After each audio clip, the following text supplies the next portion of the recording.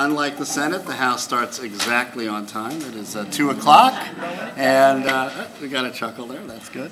Um, Well, welcome to the uh, Transportation Finance and Policy Division uh, meeting here uh, in our mini session in Winona. I'm so pleased to see so many folks have turned out, both from the public and uh, we have many members of our committee and a few guests also here as well, sitting around the table. Uh, I'm Frank Hornstein, the chair, and I'd like to welcome everybody. Um, We, this is a regular meeting of our committee, so uh, you'll be able to see many of the things we typically do in St. Paul.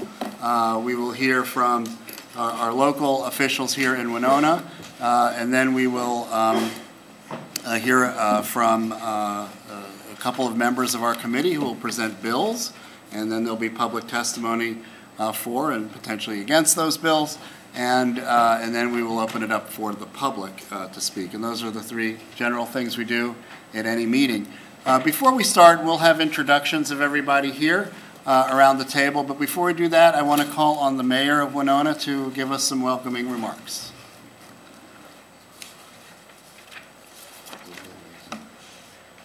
Thank you, Mr. Peterson. Thank you. Well, welcome uh, Chairman Hornstein and members of the Transportation Committee. Uh, Like you, we start all our council meetings exactly on time. Reward those that arrive on time. Um, I was asked to give a brief uh, welcome, which I will do. Uh, I know you have a lot of business ahead of you this afternoon and a lot of testimony to hear, so I just want to say, like I did last night, to probably many of you that were at the History Center, uh, welcome to our city of Winona. It's uh, a pleasure to have all of you here. It's uh, a, big deal for us, and I hope for you too, to come here and, and uh, learn about, more about Winona and southeastern Minnesota, southern Minnesota. And I think it's a, I think it's a great thing for uh, the citizens to, uh, to be able to come here and, and watch you in action. Many of them don't get to the Capitol to do that, and I think it's a great way to sort of get through the bipartisanship that uh, often uh, is out there preventing good things from happening. So uh, we're here. I want to thank the city staff for everything that they've done. They've worked very hard to, uh, to work with the legislative staff. And, uh, I think they've done a great job, and um, it's again a pleasure. And, and uh, I'll see you tonight at the Marine Art Museum, and um, hopefully around tomorrow as well. But thank you for coming. Thank you so much, uh, Mayor Peterson. I want to um, echo your uh, thanks to the staff and uh, all of the wonderful, warm hospitality we've had for everyone from Winona. So thank you so much. Um, What I'd like to do next uh, is to have uh, folks go around the room and uh, around the uh, uh, table here and introduce themselves, and um, the members will say their names and what district they represent. We also have fantastic staff members here as well, and they'll introduce themselves and, and just briefly uh, talk about what they do uh, here at the House of Representatives. So why don't we start uh, with uh, Representative Wolgamott, and then we'll move around. And um, actually, let's before we do that, I wanted to uh, uh, call on my colleague, the the ranking member, um, Representative Torkelson, to also uh, make some opening remarks, uh, as we typically do at these field hearings. And then we'll start with Representative Wolgamott. Representative Torkelson. Well, thank you, Chair Hornstein. Appreciate that. I am Paul Torkelson. I serve District 16B in south central Minnesota, Brown, Redwood, and uh, some of Renville counties. Uh, I'm Republican lead on this committee. Frank and I traded places after the last election. He had been the Democrat lead. He's now become the chair. I was the chair, and I've now become the lead. Uh, Elections have consequences, as we like to say at the legislature. So uh, it's been great to be here in Winona in southeast Minnesota. It's my second trip to southeast Minnesota in just recent weeks. The Water Commission was down here just uh, last week, the week before. So it's been a real treat to be here. I thank you, Mr. Mayor, for, for hosting us, and thanks to the community members and people that put a lot of work in to put this together. Uh, Thank you, Representative Torkelson. And now we'll start with uh, Representative Wolgamott. All right, good afternoon, everyone. I'm Representative Dan Wolgamott. I serve District 14B, which is the St. Cloud area. And I'm Representative Michael Nelson. I represent uh, District 40A, which is the southern half of Brooklyn Park. Representative Bob Vogel, I represent uh, 20A, I live in Elko, New Market, and represent southern Scott and western Le Sueur counties. Good afternoon. I'm Sandra Masin, and I represent 51A, which is most of Eagan, west of 35E, and all of northern Burnsville. Um, I'm Representative Steve Elkins from uh, Bloomington, District 49B, which also includes portions of uh, Edina, Minnetonka, and Eden Prairie. I'm Representative Erin Koegel. I represent 37A, which is Blaine, um, Spring Lake Park, and Coon Rapids, the North Metro area. I'm Alice Hausman. I represent a couple of neighborhoods in St. Paul, St. Anthony Park and Como Park, and three suburban cities, uh, Falcon Heights, Lauderdale, and most of Roseville. If you've been to the state fair, you've been to my district. Hello, I'm Brad Tabke, representative for uh, Shakopee, Jackson Township, and Louisville Township on the southwest side of Minneapolis. And uh, thank you so much for having us here. One Winona has given us a really, really great welcome, and uh, we appreciate everyone to spending their time and hanging out with us. I'm Lindy Salmick. I'm the committee legislative assistant, so I assist this committee and uh, Chair Frank Hornstein in all of his legislative duties. And we welcome uh, Ms. Salmick. She just uh, started last month and is doing a great job and did a lot of work to put this together. Um, Again, Frank Hornstein, I uh, represent the district uh, in Minneapolis, parts of downtown and southwest Minneapolis. Hi, folks. Uh, John Howe, the committee administrator. I've had the great privilege of uh, communicating with many of you and look forward to hearing from you today. And a big thank you to to Mr. Howe, who's done incredible work over the last couple months, uh, putting this hearing together and all of our activities that the Transportation Committee has been involved with here in Winona. So thank you, Mr. Howe. Good afternoon. I'm Linda Runbeck, a state representative from 38A, which is the northern suburbs, Lino Lakes, Circle Pines, and various, several other cities up there. So. I'm Nolan West. I represent most of Blaine in the Minnesota legislature. My name is Jon Koznick, represent Lakeville, which is 25 miles south of Minneapolis and St. Paul, just off Interstate 35. And I'm Matt Burress with House Research, which is one of the nonpartisan offices in the House. Uh, Joe Marble, I'm the, uh, uh, used to be the committee administrator for Paul. I'm now the researcher for the House GOP for transportation. I'm Jennifer Nelson. I'm the DFL researcher with this committee. So thank you, everyone, for those introductions. And uh, now we'll uh, start with some uh, uh, local officials from the city of Winona, and then we'll hear from uh, some uh, of our esteemed guests. We have two state commissioners that have made the trip down here, and we'll hear from them in just a couple of minutes. Uh, But uh, as we have learned uh, uh, through the day today and through much of our work uh, in this committee, there's a very, very important connection between transportation and local economic development. It is critical, uh, as we know, for, for commerce and for jobs. And so we know that Winona has been exemplary in this area. The way that the, the Port Authority has, um, you know, looked at some of the redevelopment that we've seen downtown, and of course, all of the, the farm and other uh, products that are shipped uh, along the river, uh, on the port. These are all critical transportation issues and needs. So uh, we will um, have uh, Mr. Al Thurley first, uh, who serves on the Winona City Council, and he's also a Port Authority Commissioner. So welcome to the committee. Thank you. It's the first time I've had legislature in the round here. Yeah, yeah. Well, Mr. Chairman, members of the committee, my name again is Al Thurley. I'm a member of the City Council and Port Authority of Winona. And in fact, I participated as a council member during the last mini session in Winona 30 years ago. But I haven't been on the council all those years. I missed eight years, but uh, it's a great event, and thank you again for coming back to Winona. And thank you for the opportunity to tell you about the Winona port facilities, as well as the other active public ports that serve the state of Minnesota. Now, here's, here's some information to start with about how valuable our port facilities are to the entire state. The Mississippi River and the Great Lakes waterway system provide us with access to national and international markets with the lowest cost transportation available. Now, at the Port of Winona, some of the major commodities that move through the state and into the state through our facilities our road salt, we need that in Minnesota. Fertilizer, we need that in Minnesota. Distiller's grain, it's an interesting product of the ethanol process. and a product called Gypsoil, which is fairly recent, but it's a soil treatment. And we have also seen a significant increase in shipments of wind turbine components, such as the blades.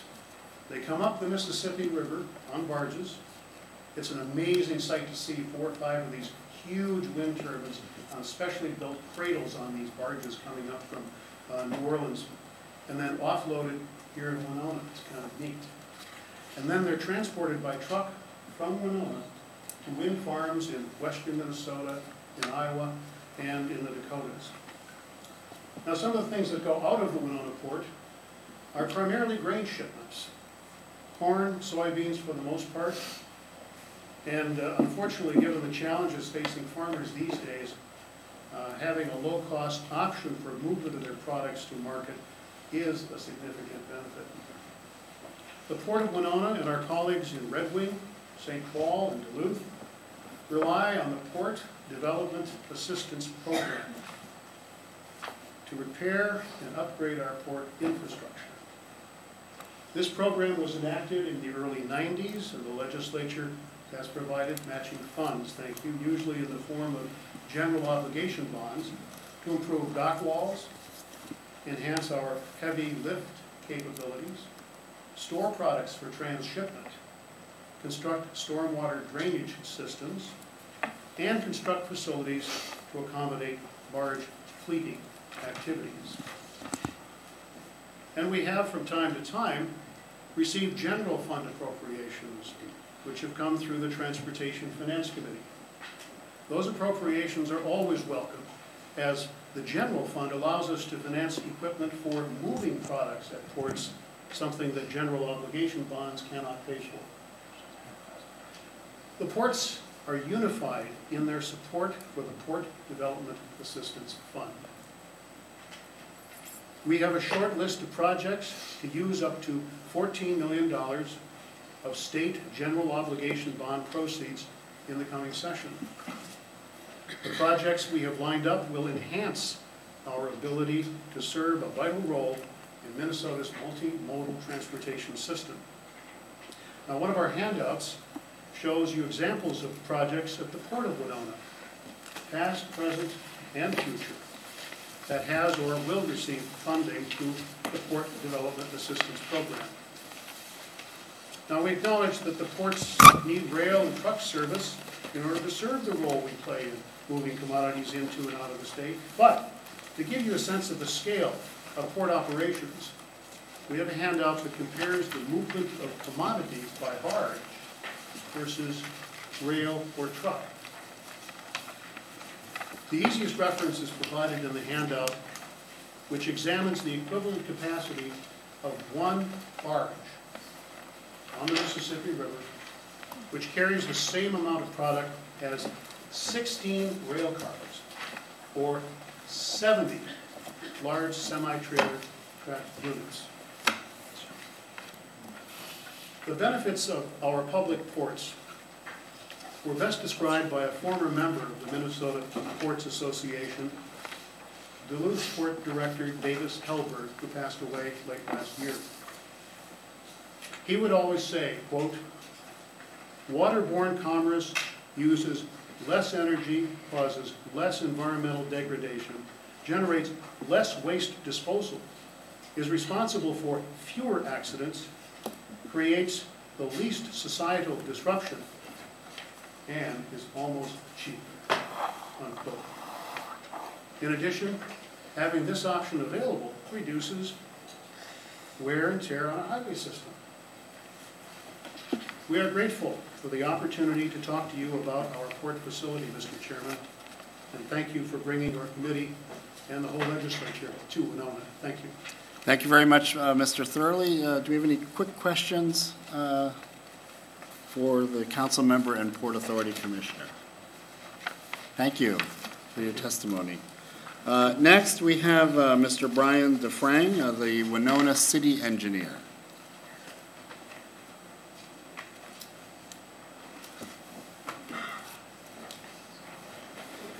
Welcome to the committee, Mr. DeFrang. Please state your name for the record. Thank you, Mr. Chairman and members of the committee. I am Brian DeFrank, City Engineer for Winona.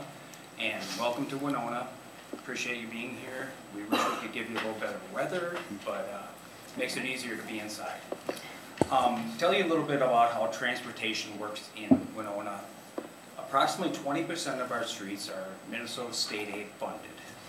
That gives us money from the state aid through the gas tax at about $900,000 per year is what's given the city of Winona.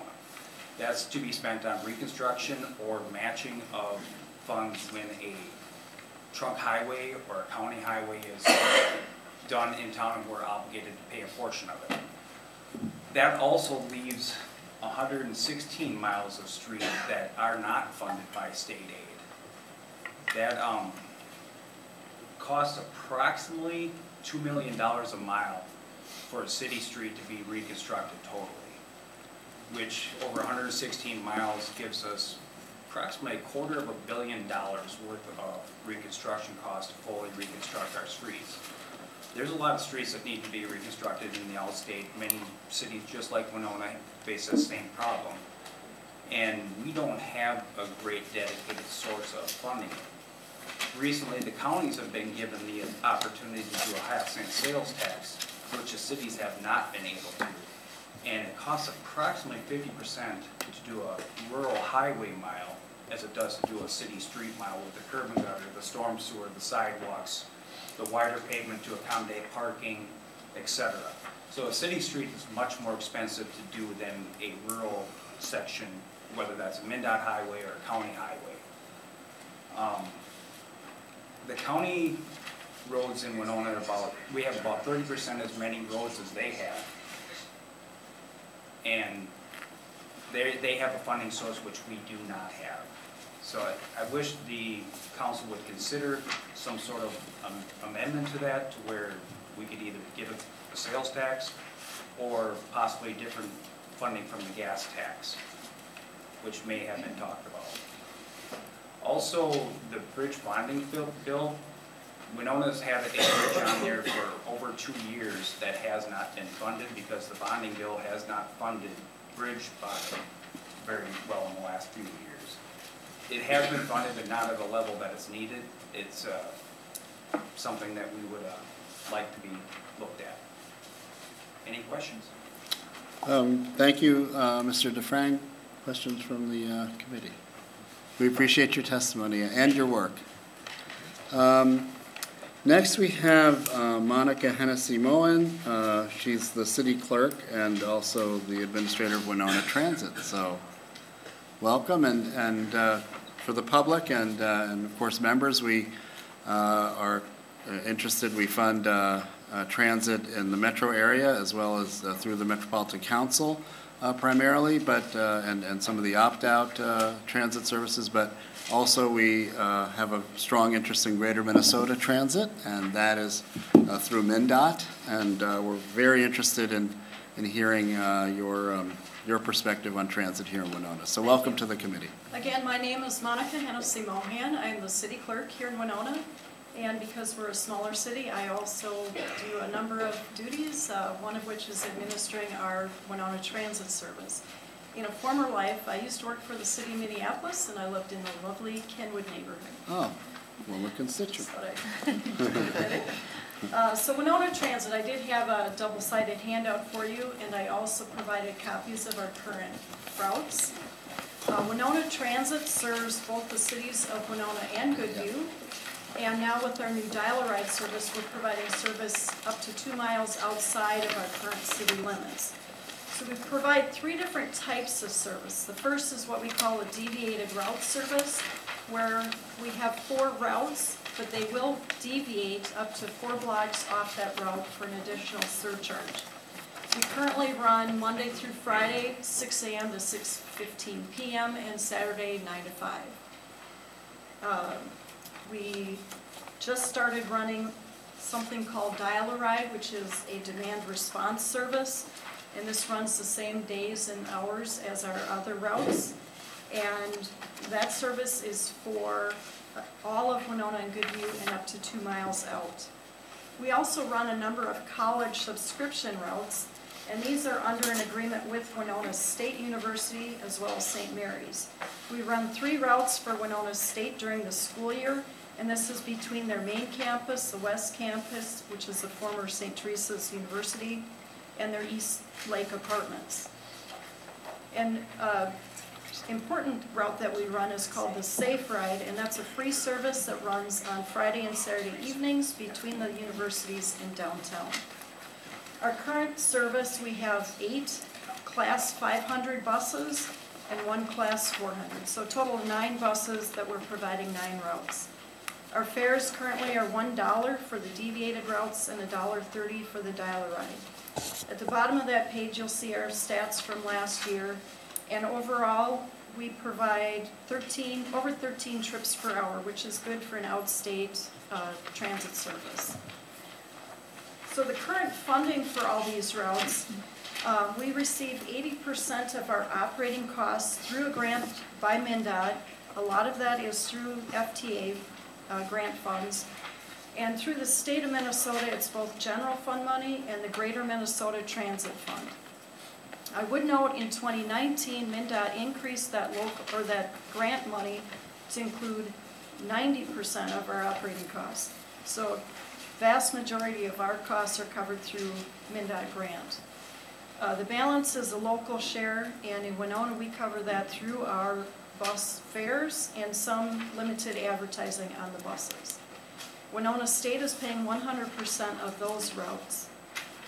And the capital cost for bus replacements is typically also at 80%. Some of the current projects we've had in the last year, it's been busy for Winona Transit. We implemented a new transit advisory committee uh, made up of local residents and service organizations. Uh, through MnDOT and the MIPTA, the Minnesota Public Transit Association, we were able to complete a five-year transit plan. We're just finalizing our plan. It'll be coming to our city council the next month. And earlier this year, we received a special grant from MnDOT to increase the number of shelters and signage that we have throughout our system.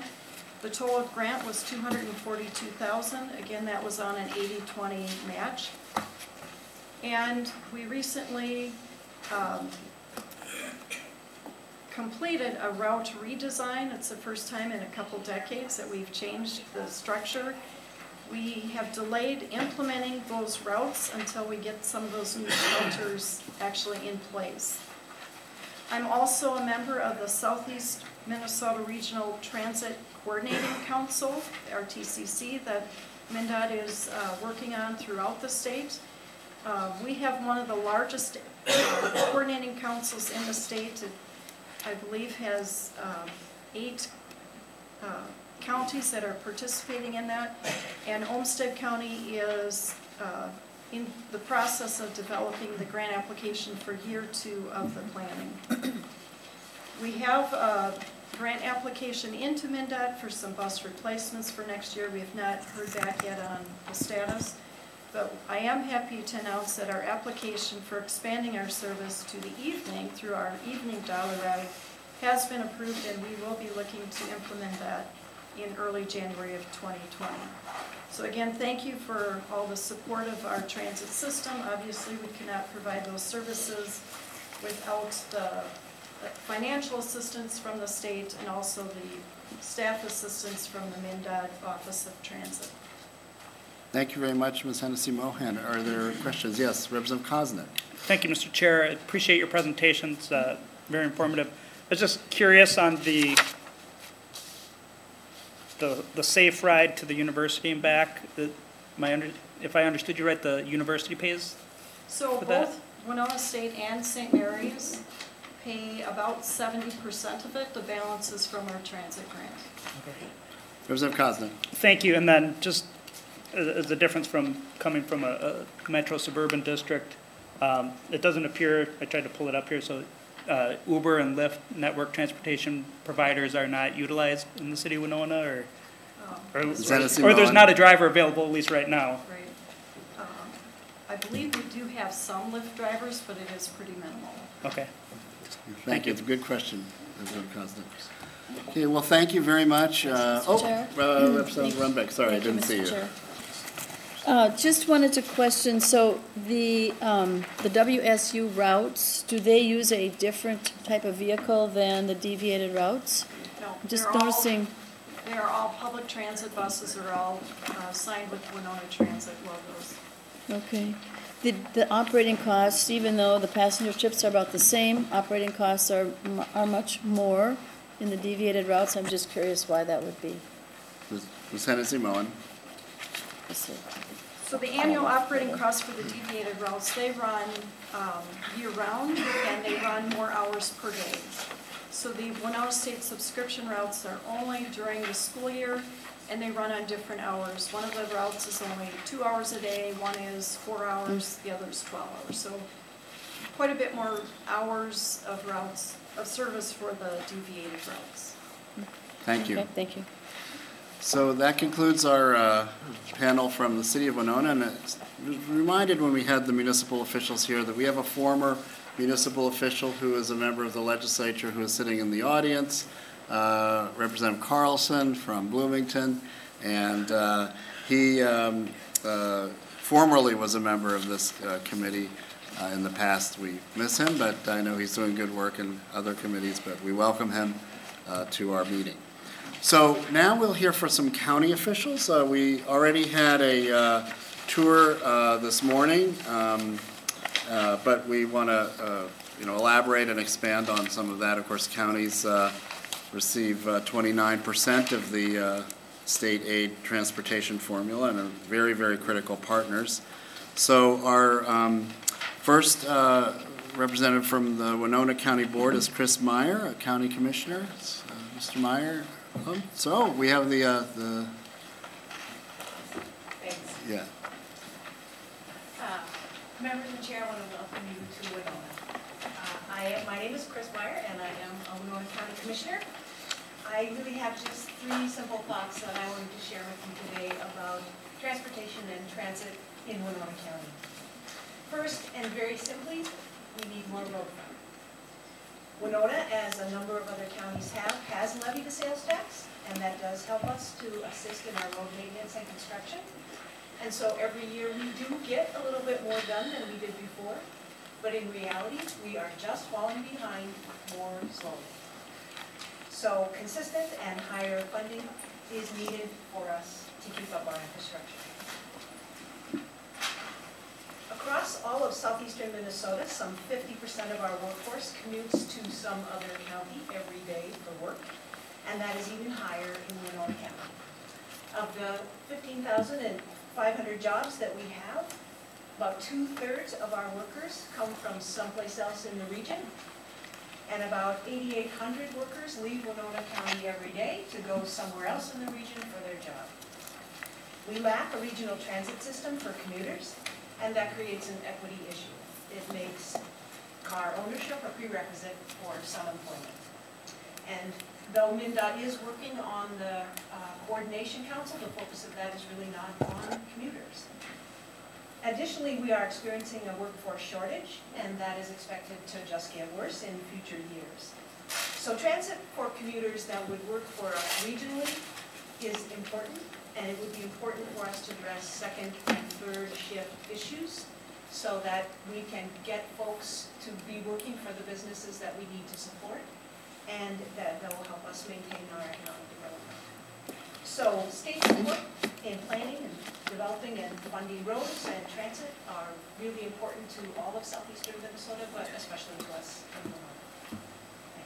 Thank you very much. Uh, Questions? Yes, uh, Vice Chair, Representative Tabke. Thank you, Mr. Chair. Um, I agree with you that we absolutely have to have more funding for transportation throughout the state of Minnesota. What ways in your mind do you see is the best mechanism and way for helping to make that happen? Like what, what do you see the funding best, uh, uh, created as? So for regional transit, Uh, for, mostly for roads and bridges and, and make funding roads that way, but also for transit as well. Sure. Um, so I'm not sure if Dave Kramer, who is our county highway engineer who's here today, he's gonna speak. Um, I rely on his expertise, um, in terms of many of those details. So I'm not sure what the right mechanism is for funding, but I know that we need it to be consistent and um, that we, we need help. And Mr. Kramer will be testifying Okay. next. There we go. Perfect. And just to kind of follow up on that, like politically, is in your mind is gas tax a way to go? Is what do you think is the is the right way that people in your county can can handle and what they think is a good idea? Sure. Well, personally, I'm not opposed to the gas tax, and I understood that there was a straw poll at the uh, state fair this year, and that 60% of Minnesotans who took part in the poll said they'd favor 5% or more, right? I think too, as we look uh, towards electric vehicles, maybe um, a vehicle miles traveled tax would be a more equitable way for us to figure out how to fund roads. Thank you. Thank you. Okay, and you, oh, Representative Koegel. Um, thank you. I, this morning we heard a bit, um, during the, um, Jobs Committee about the uh, driver's license for all issue. And, um, was just wondering, you know, if that would help some of the, um, workforce issues that you are facing here as well. Yeah, so I was just elected in the 2018 cycle. Um, I sit on the workforce board here in Winona County, and um, I've had a lot to learn just becoming an elected official. And there are three things that they tell me are really critical to us being able to get uh, those folks who maybe could work but don't. And one of those is transportation, one of them is housing, and one of them is childcare. So certainly, um, the issues with um, being, being able to have a driver's license, I was really surprised at this, um, the last workforce meeting, which was uh, on Monday, um, one of the folks from DEED that runs our CareerForce Center was talking about how Ashley Furniture has um, been recruiting folks from Puerto Rico. Um, They're bringing them to Winona and they're bringing to Arcadia. So certainly our employers are trying to help recruit folks to come from outside the region. So certainly, I mean, folks from Puerto Rico are going to have uh, an American uh, passport, so that'll be fine. But for folks who come here from other countries and are working, yeah, it would be really important for them to be able to have a driver's license, to be able to insure their vehicles, and really, I thought it was great that Sheriff Andrew talked about why that's so important for law enforcement as. Thank you. Additional questions? Oh, yeah, Representative Torkelson. Thank you. Just briefly, um, I'm aware that uh, there are commuter buses that run to Mayo and Rochester. uh, that I believe it's a private system. Does that operate here in Winona? I, I think it's Rochester City Lines, um, and that they do have buses that run, um, on a Mayo schedule. Um, I don't know that that's available maybe in as wide a format as, as is needed, and I'm not sure what buses there are that would run to La Crosse. But I think that probably to Rochester and La Crosse, for folks who leave Winona, those are the places that they're going. Thank you. Thank you very much. Um, So we all, thank you very much for, for your service and for your uh, testimony. Uh, Our final um, Winona County uh, testifier um, is Mr. Dave Kramer. And of course, we welcome back to the committee. Uh, You gave a wonderful uh, presentation this morning. Couple of things I, I wanted uh, Mr. Kramer to touch on uh, that he didn't touch on today, this morning, is that um, uh, I'm especially interested, uh, given um, so, so much of the rain that has fallen in this part of the state and throughout southern Minnesota. Um, We'll be hearing again from our state agencies on this as well. Um, How, I think it was, I I checked with the National Weather Service in La Crosse, they said last year was the third wettest on record. I'm hearing now that it's now the wettest on record uh, in this part of the state so far in 2019. Uh, So I think there's some issues with that and how we address that in, in road construction and repair. And then just in general, um, overview of the engineering issues uh, related to roads here in the county. So a couple of things to- that we can uh, amplify that you had mentioned this morning, and welcome to the committee, and thanks again for spending so much time with us. Thank you, Chair Hornstein.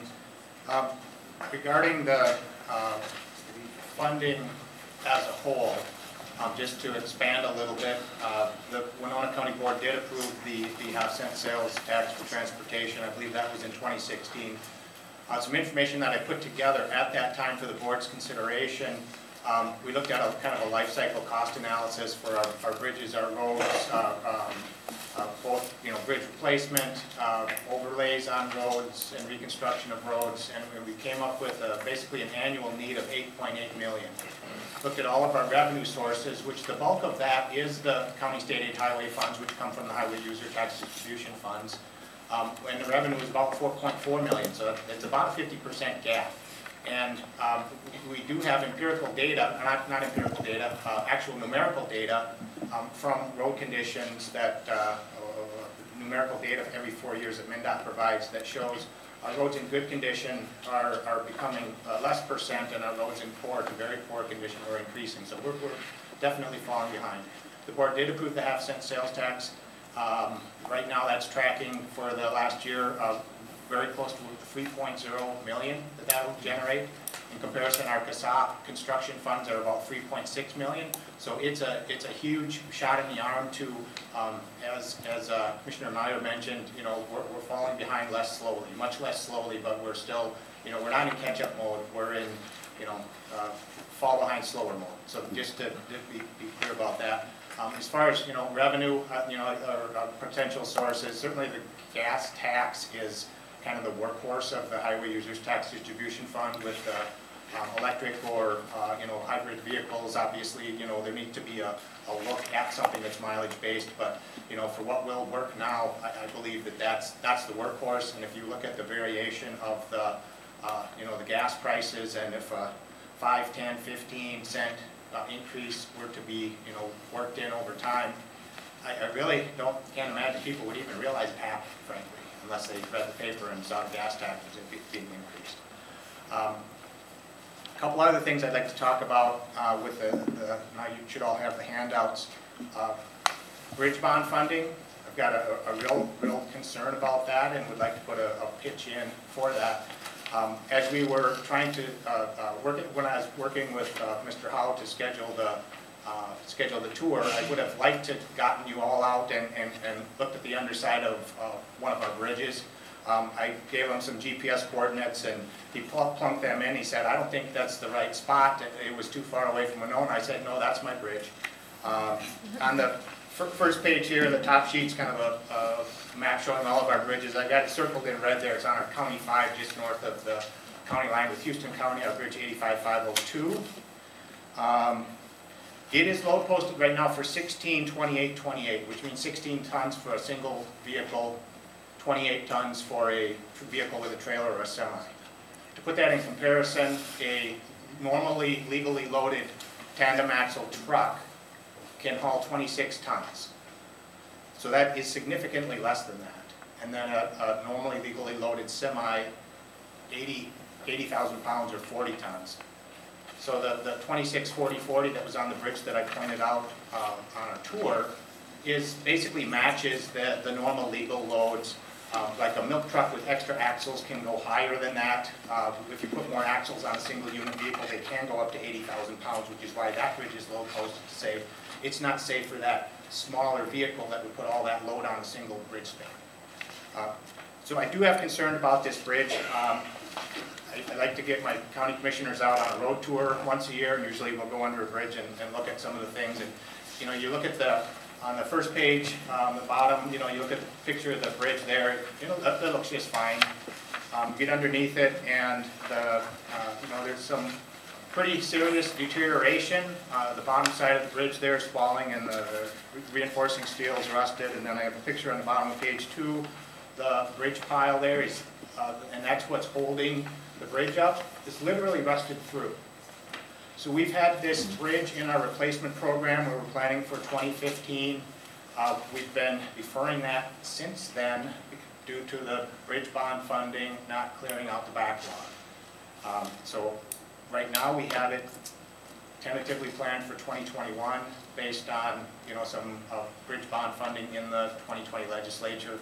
Um, typically, the request that comes out is, you know, in the 50 to 100 million range.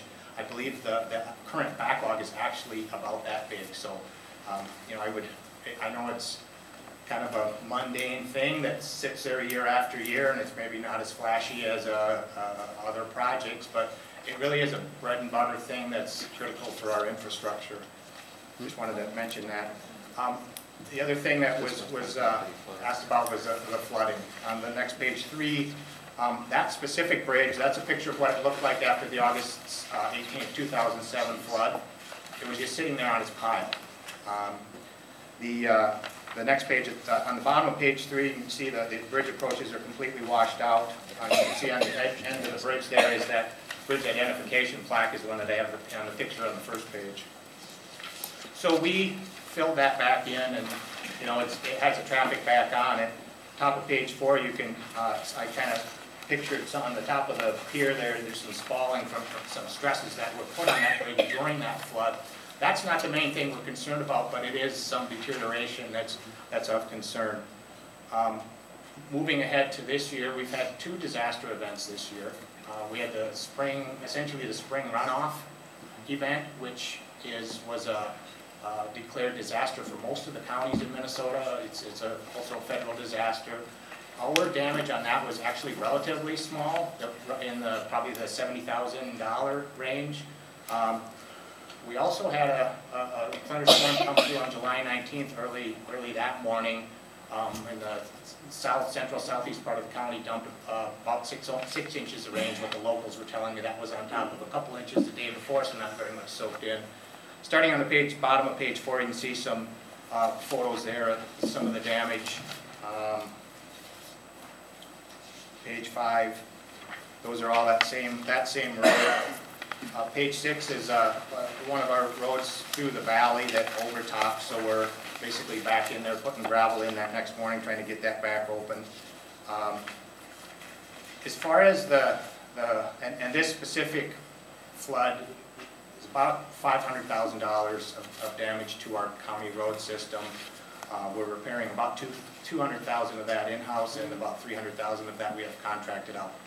Um, It's my understanding that uh, uh, in- uh, paperwork to get a, a- a disaster declaration to the governor is, was submitted to him recently for his signature. Um, I want to put a plug in for the state disaster program.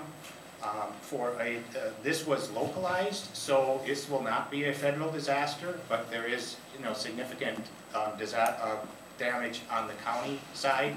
And to have that state disaster program where we'll be eligible for seventy-five percent reimbursement, that is, you know, that's a- a great program to have when we have things like this happen, you know, the twenty-five percent, you know, we can absorb with some reserves, but to, to take care of the brunt of it, it is nice to have, you know, kind, essentially kind of a public infrastructure self-insurance pool with that, um, with that disaster program.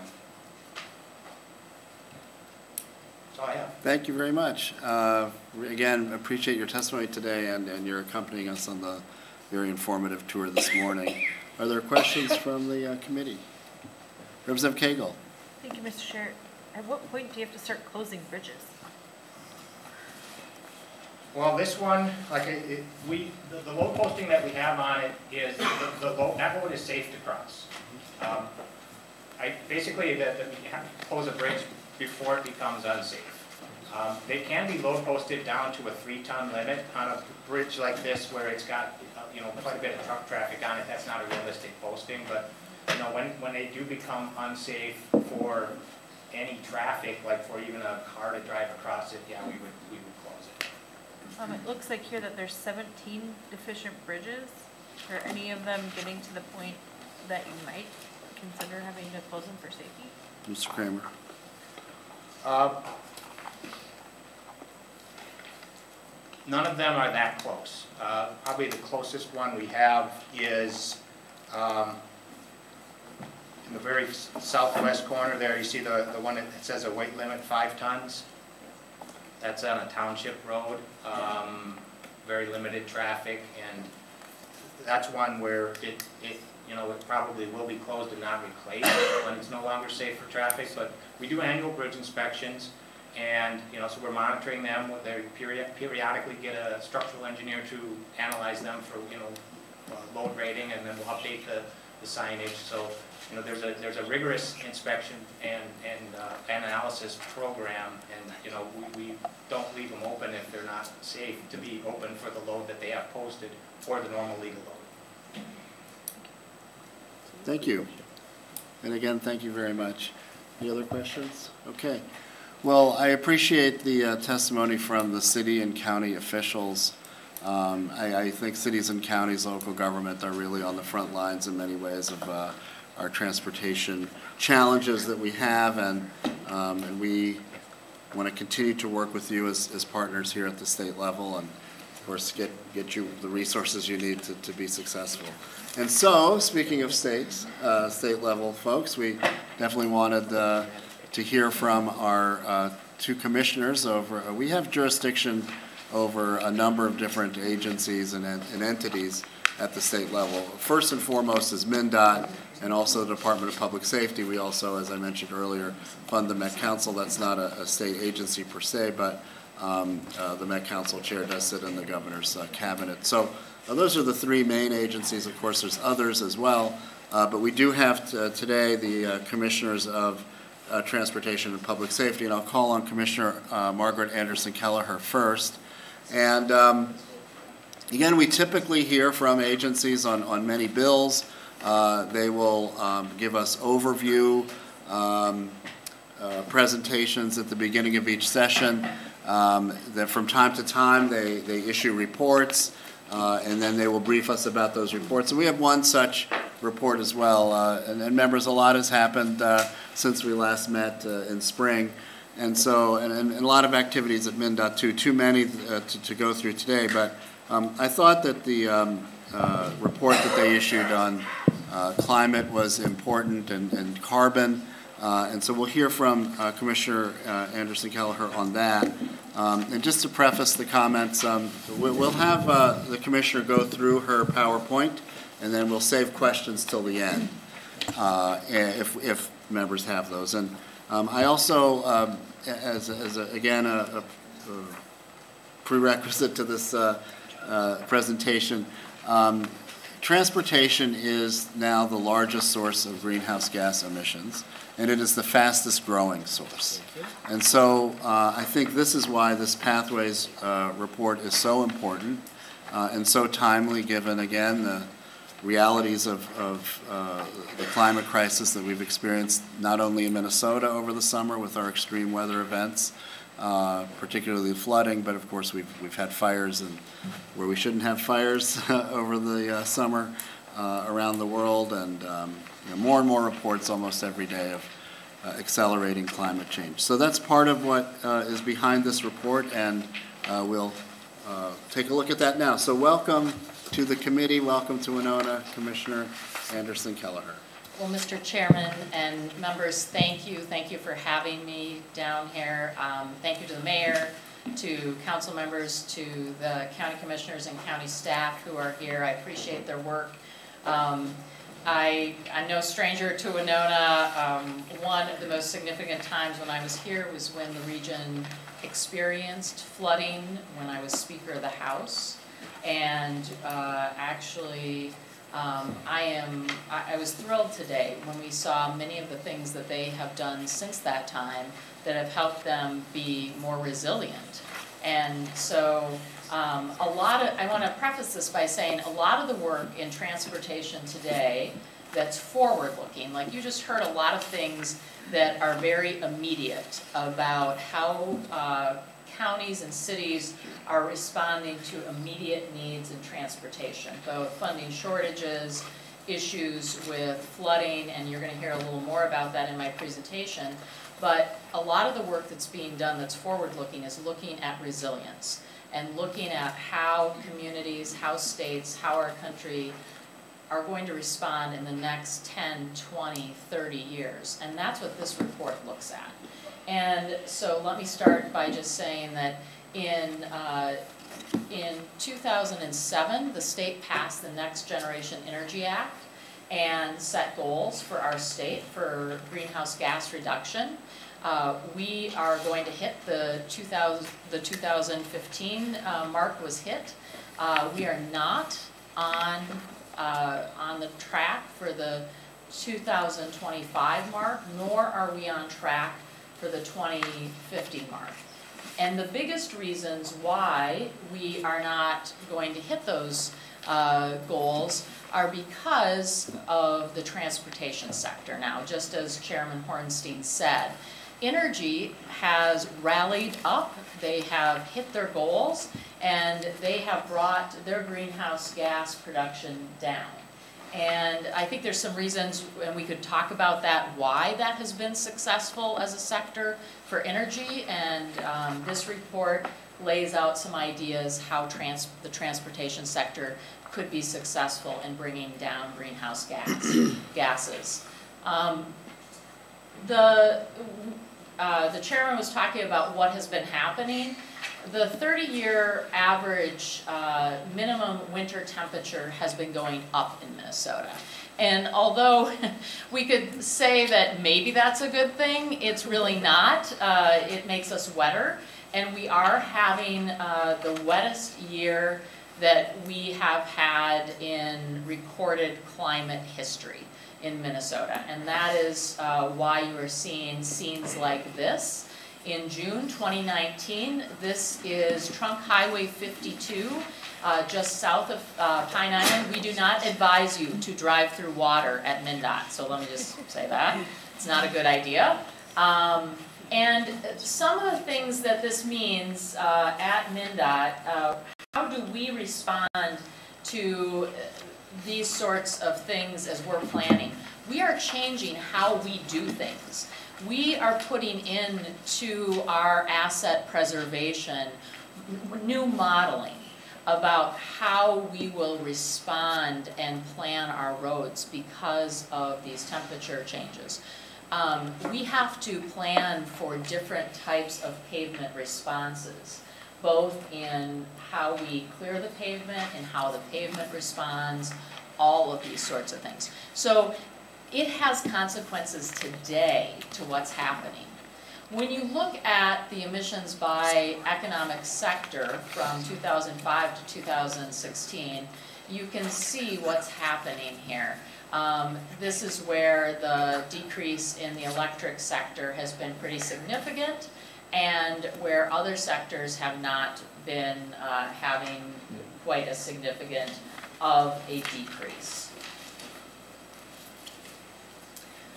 Um, you may wonder why MnDOT? Why are we doing this? We actually do have statutory authority to study the greenhouse gas reduction, and that is exactly why we undertook this study and to begin this planning and to be able to really analyze how would we advise reducing greenhouse gases in the transportation, transportation sector. So, um, when you look at surface transportation sector, you're going to see that uh, the, the major surface transportation producers are broken out here. And we look at these in detail in the work that we've done to say, what does it look like going forward? So we gathered together, uh, we led the way on this study, we weren't alone, the EQB worked with us, uh, the PCA worked with us, the Department of Ag worked with us. We coordinated uh, over 50 state and national technical experts on the study, uh, private, nonprofit sectors as well to inform the study. We modeled strategies to be able to reduce uh, the greenhouse gases, and we did public engagement around this because we, we know that to be successful in having any sort of accepted greenhouse gas reduction, the public needs to be behind the recommendations or it will not uh, be able to move forward. So what did we do uh, here to say modeling out? So we did a baseline study and said if we do nothing and just look at you know uh, normal acceptance of electric vehicles coming forward, what will happen? And, and what happens is we have a slight reduction of greenhouse gases and then it goes up again. So we actually focused on these two scenarios.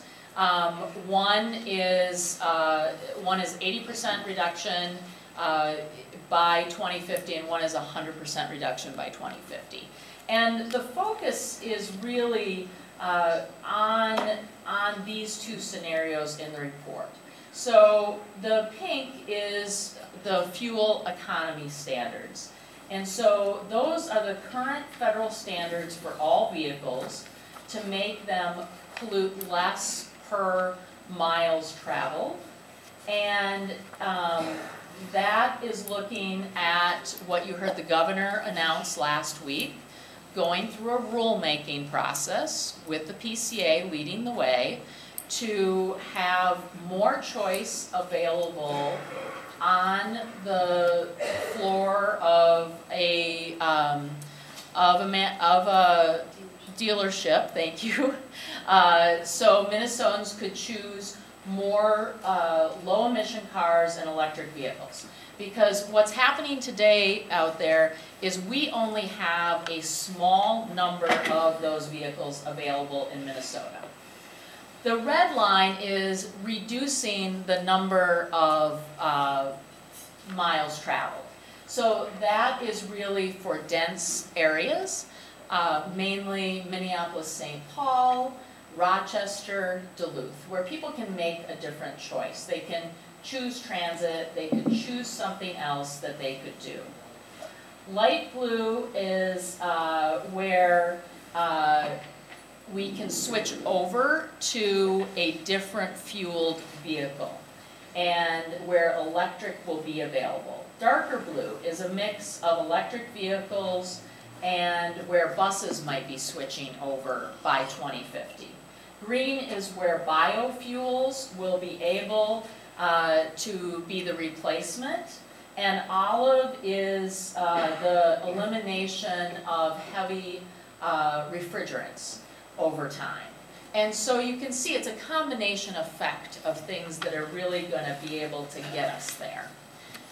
And I'm sure there's a lot that, that everyone will want to talk about in that slide. Um, I'm sure we can't do it all today, but there's going to be a lot of, of things that come out of this discussion for future discussion and hearings.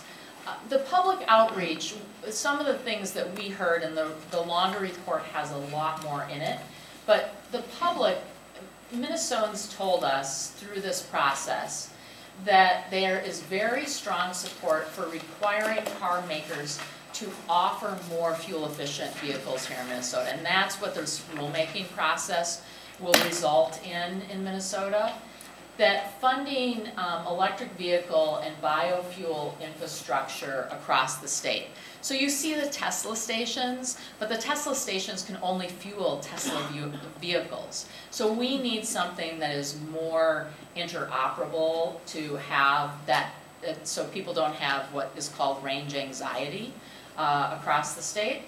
Funding um, electric vehicle incentives and requiring multimodal options in community design. A little bit um, like the transit director was talking about, one of the things that the transit office at MnDOT has undertaken is this regional approach to transit planning across the state so that communities are more connected. There is more planning going on where the, and this was always amazing to me when I sat on the transportation committee, that the transit stopped at the county boundary. And, you know, more, we need, we may need the transit system to go across the county boundaries. So these are the things that we saw a lot of support for um, as we did the outreach.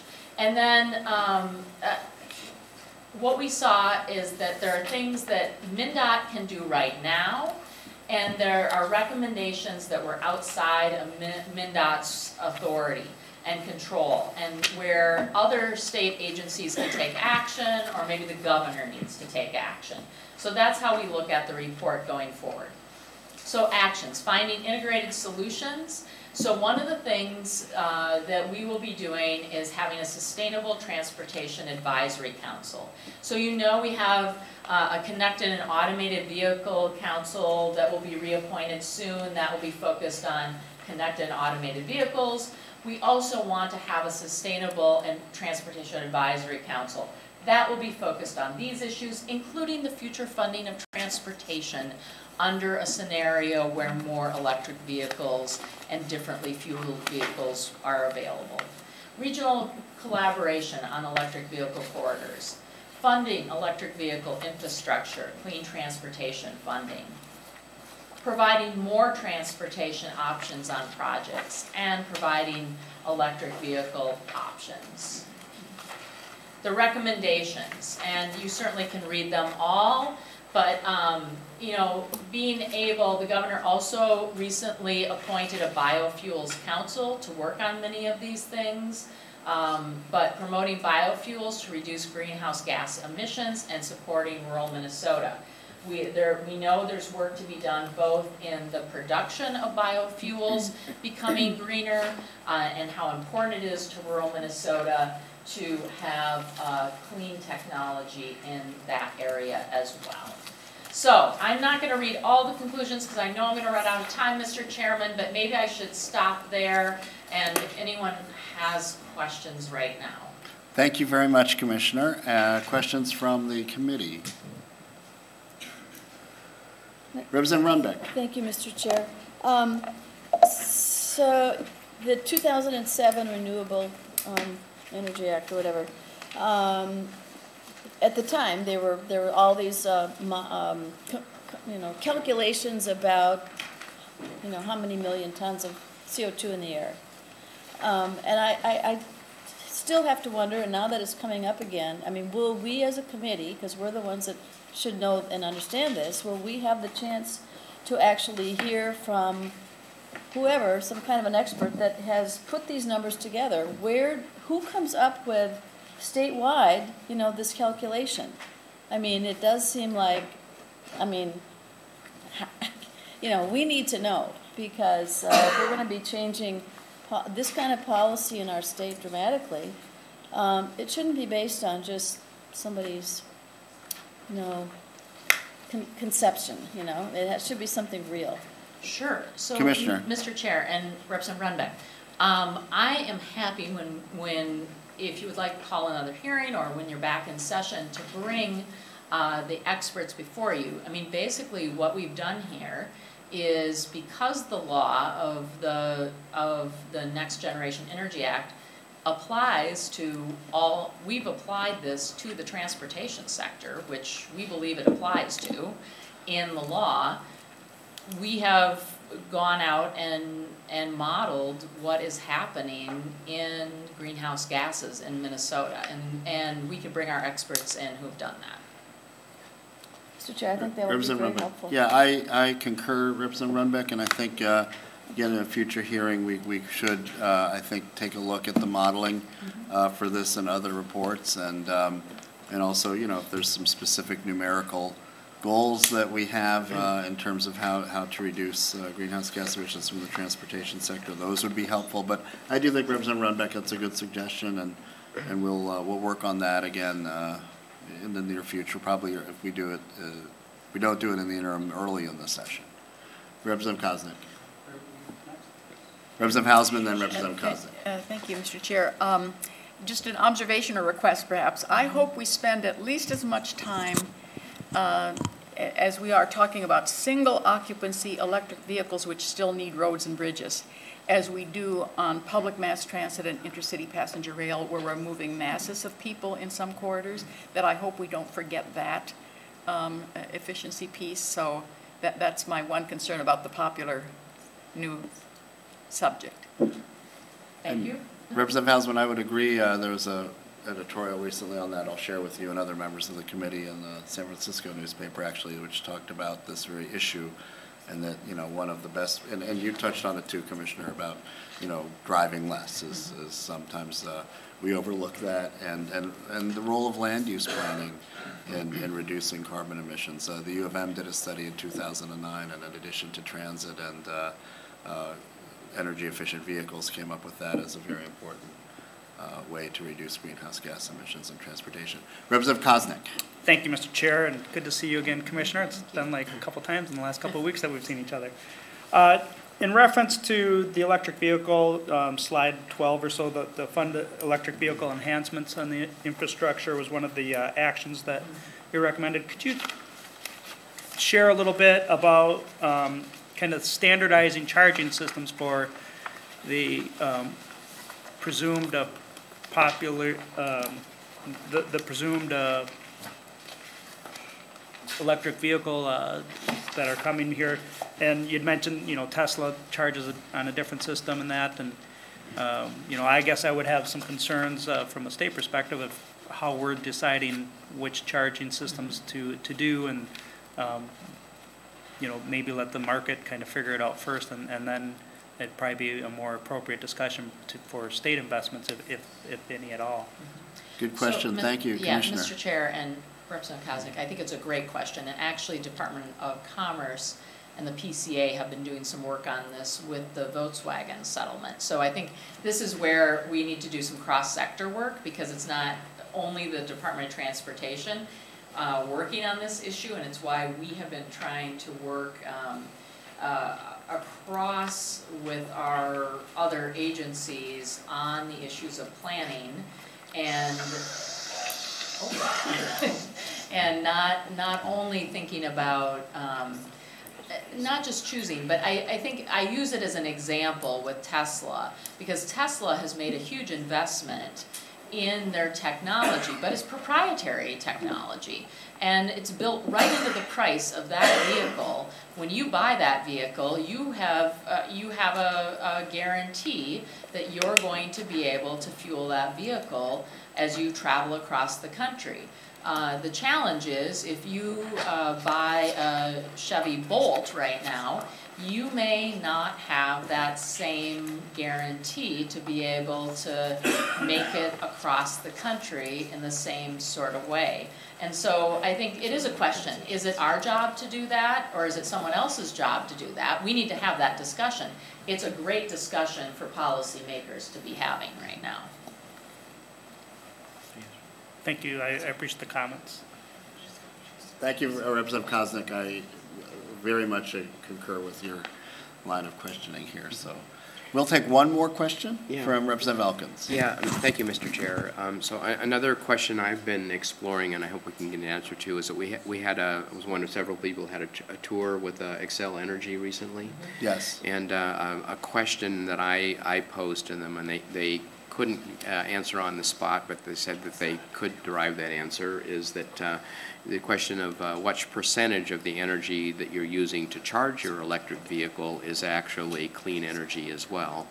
And the, the, the rough answer I got was that if you're charging your car in the small hours of the night, evening, um, the vast majority of the energy that's being used to charge your car is either uh, nuclear or wind, which is to say uh, CO2 free. Uh, but they did promise me that they would be able to quantify it. They said it does vary somewhat by season, but I think that's a, a big part of the answer as well. So, Mr. Chair and Representative Elkins, it's actually why I think, um, when I came to the department, one of the things I wanted to separate out is the, the Connect and Automated Vehicle Task Force from the Sustainable Transportation Advisory Council. Mm-hmm. Because I think that people sometimes get a little confused mm-hmm. between connected and automated vehicles. Connected and automated vehicles can have a combustion engine, mm-hmm. no, no doubt about it. Some of you are driving level two and level three connected vehicles today. But uh, an electric vehicle, if you're driving one, is very different in terms of, it may have a connected uh, uh, feature to it. But we can answer some of those questions in that, in that advisory council or task force. And so uh, we're gonna get that formed up here, and that is some of those uh, key questions that we can then start producing reports on and get to the bottom of.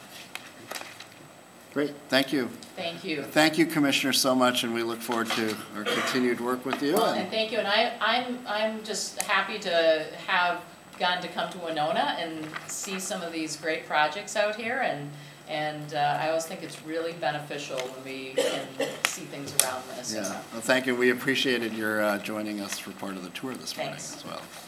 So members, we're going to have um, one final uh, uh, presentation from a state agency, and we're very happy to have the Commissioner of Public Safety with us, Commissioner Harrington.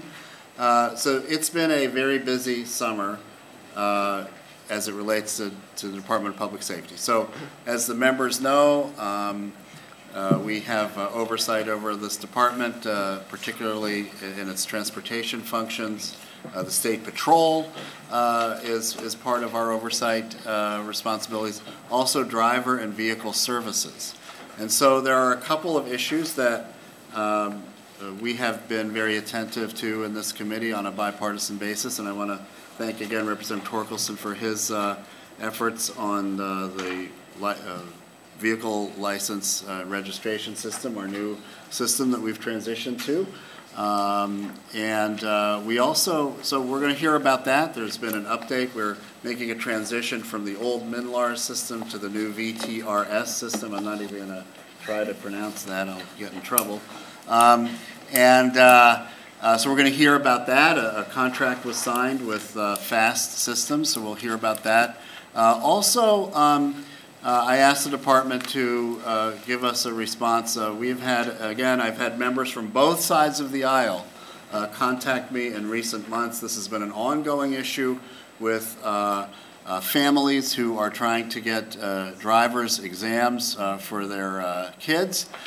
Some in the Twin Cities have talked to me about traveling as far as Albert Lea to get this, and we wanted to find out from the department any response they have to that problem and, and how they're working to solve that. And then finally, uh, I, it caught my attention, the Winona Daily News uh, had an article again about uh, these uh, extreme weather events, and I, I learned in this article from just a couple weeks ago and uh, from the Daily News that um, the Department of Public Safety through the Homeland HSEM uh, uh, was involved in the disaster response here in terms of getting money out to the communities. And I wanted the department to uh, discuss a little how that process is going and how that works uh, when there is a natural disaster of this kind and and Homeland Security and Emergency Management uh, is involved. Uh, We had, I think, a question about that earlier today, how that money gets to local communities. So those are the three items uh, we we have on the agenda for for you, Commissioner Harrington. And again, appreciate so much that that you've come uh, from the the Twin Cities down here to be with us and and answer questions and give a presentation. So welcome back to the committee. Thank you very much, Mr. Chairman. I'm John Harrington, I'm the Commissioner of the Department of Public Safety. Uh, And it has, was a beautiful drive down, and uh, as per my governor's orders, that when he talks about one Minnesota, he means that we, as his commissioners, will see all of Minnesota. And I think I'm on 36 counties currently uh, and working toward the whole 87 before we're done. So, uh, Thank you very much for the opportunity to talk. Uh, Starting in January of 2019, the Department of Public Safety had really three priorities for our driver and vehicle services. Number one, fix MNLARS. Uh, And for most of the first part of the session, that was, uh, it was MNLARS in the morning, it was MNLARS in the afternoon, occasionally it was MNLARS late into the night, but it was MNLARS constantly. Uh, Our second priority was preparing for Real ID, uh, which If you haven't seen the commercials, you will. October of 2020, you have to have your real ID if you want to fly. Uh, And then the third we had uh, was to address what we saw as a coming backlog for driver's license testing. Uh, The deputy registers, uh, the community, the legislature, uh, and the governor's office made it very, very clear to me at- from the very earliest right that uh, fixing MNLARS was the number one priority. Uh, and so, starting in January, we began working on deficiency funding. We got the deficiency funding. We were able to hire some uh, temporary staff uh, so that we could start working on the backlog because there were literally uh, cases stacked above desk level, above cubicle level, that were old titles that were in the paper form that we were trying to get caught up. Uh, That backlog was literally months long, and we have uh, through some judicious use of part-time staff and new staff and some new technology, uh, really pretty much caught that up. Uh, We work with MNIT to prepare for uh, two releases. Uh, Number one, fix the uh, specialty plate issue. Um, Fairbolt One comes flashing into mind whenever I think about specialty plates. Um, But there were literally hundreds of other deficiencies that the DRs had that they said needed to be fixed. And so between release one and two, we've managed to fix most of those. We have worked with the DRs and the auto dealers. uh, And because we were granted that funding, by May, we were actually able to hire some temps. And we were actually starting to work on the backlog. Uh, Hiring the temps has been a challenge, I will admit to that. That is part of our, part of our, our struggle here. Um, So we hired temps to work on the backlog. Uh, So you train the temps, which took the really experienced people off of the line. They trained the temps, the temps got just about good enough, and then about that time, you would move the experienced people back into working on the really thorny issues in there. And then we'd have a new system that needed to come online, and one of the lessons we learned from the 2017 launch is that if you do not do regression testing, you will fail.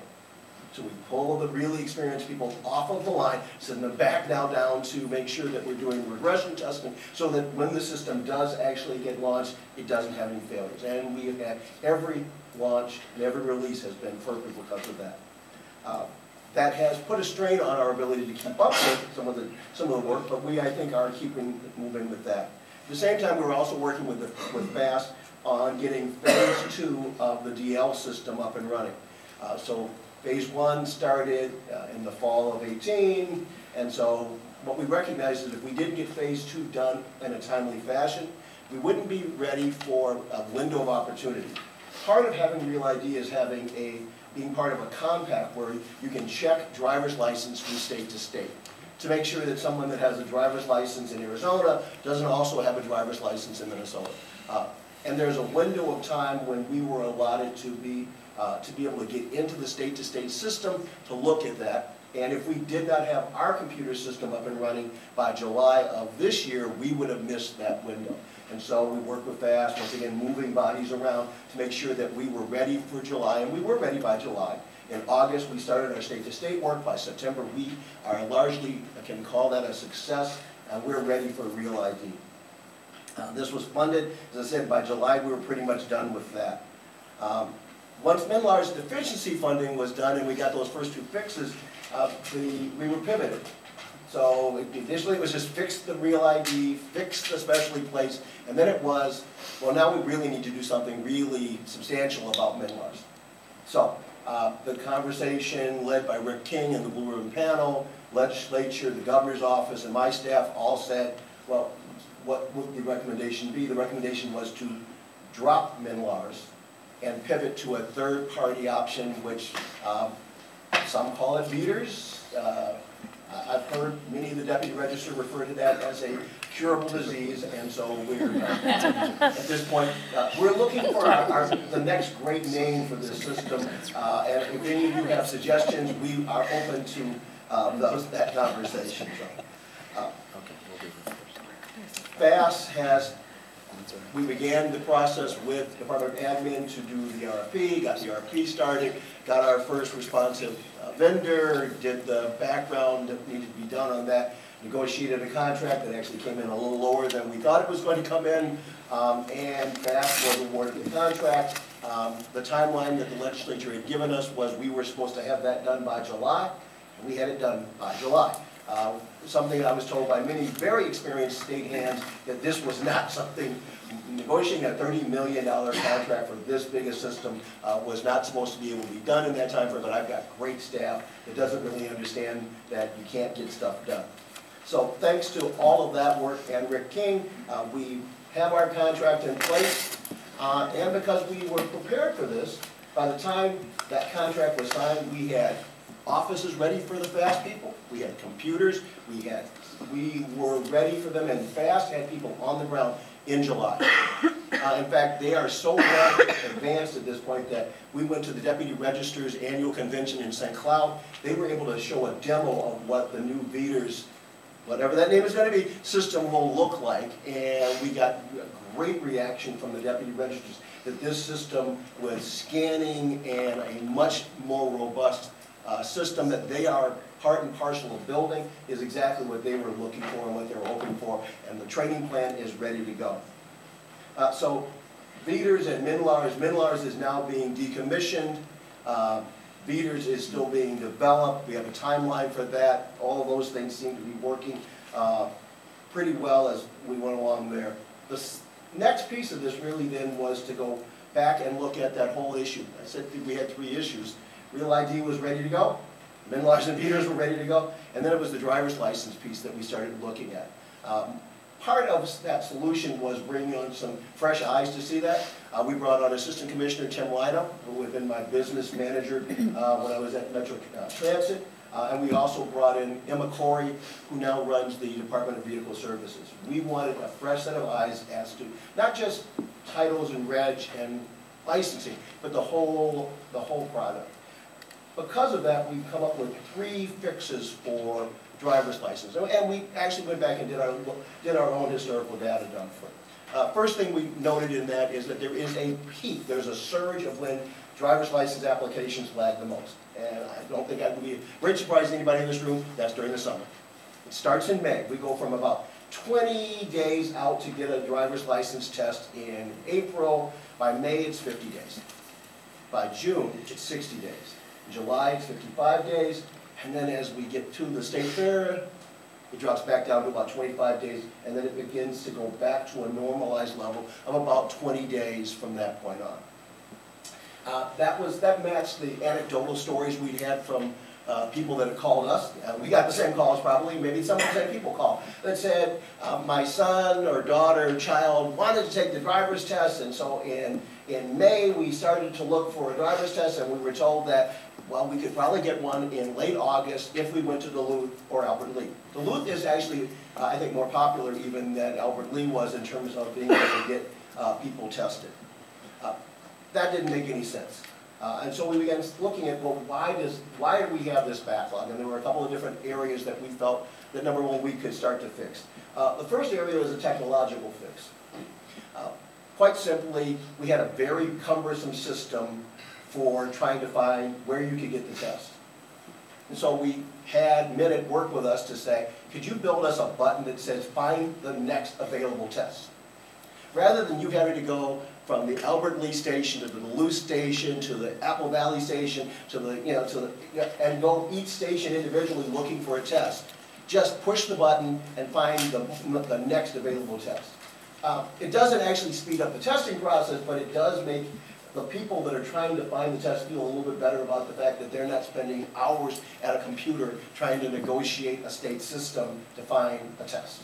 Uh, But the second piece actually has really already reduced the backlog. The second part of this, is once again, came out of some anecdotal conversations. Uh, So you want to have your son or daughter take the test. You- you- You're relatively comfortable that they're going to be good at this, but you want to have a plan B.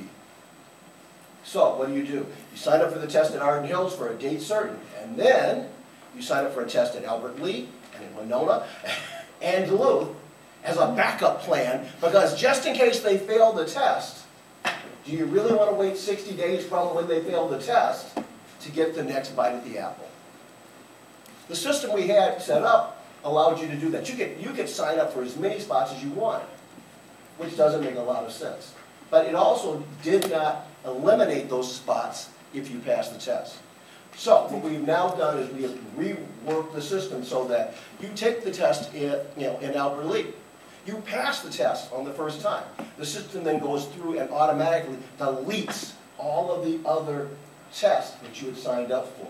Now that might not sound like a lot, but the first time we ran that program, it eliminated 300 tests that would have been a no-show.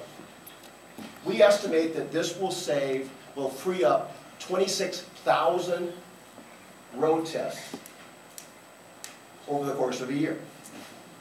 So that should help us reduce that backlog substantially. It won't necessarily reduce the backlog in the summer, but overall, it should cut down the backlog, because quite literally, in talking to the folks um, at the testing stations, they are, they have a list of 40 people that show up on a day that are walk-ins.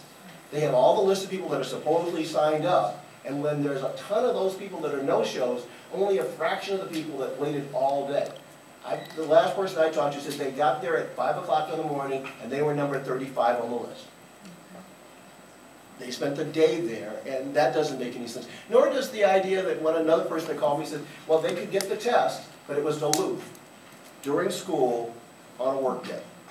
So their kid would miss a day of school, they would miss a day of work to get to Duluth to do the test. That doesn't make good sense, that's not good customer service. So, in order to re- remedy that, we've come up with two other solutions. Uh, One that is going to go into effect in November, the other will go into effect next summer. The November fix is quickly simply this. uh, If you're re- going to be responsive to the community you serve, which is kind of the model that I've lived by, which as a cop, what hours would you be open for testing? Early Evening, weekend. You'd be open in the evening, and we close at four thirty most days. That doesn't really make much sense. So starting November first, we're going to keep driver's license testing stations open until seven. So that when you get out of school at three, there's now a three and a half hour block. It will, it will give us an additional eighteen hours a week because we're also gonna be open consistently on Saturdays.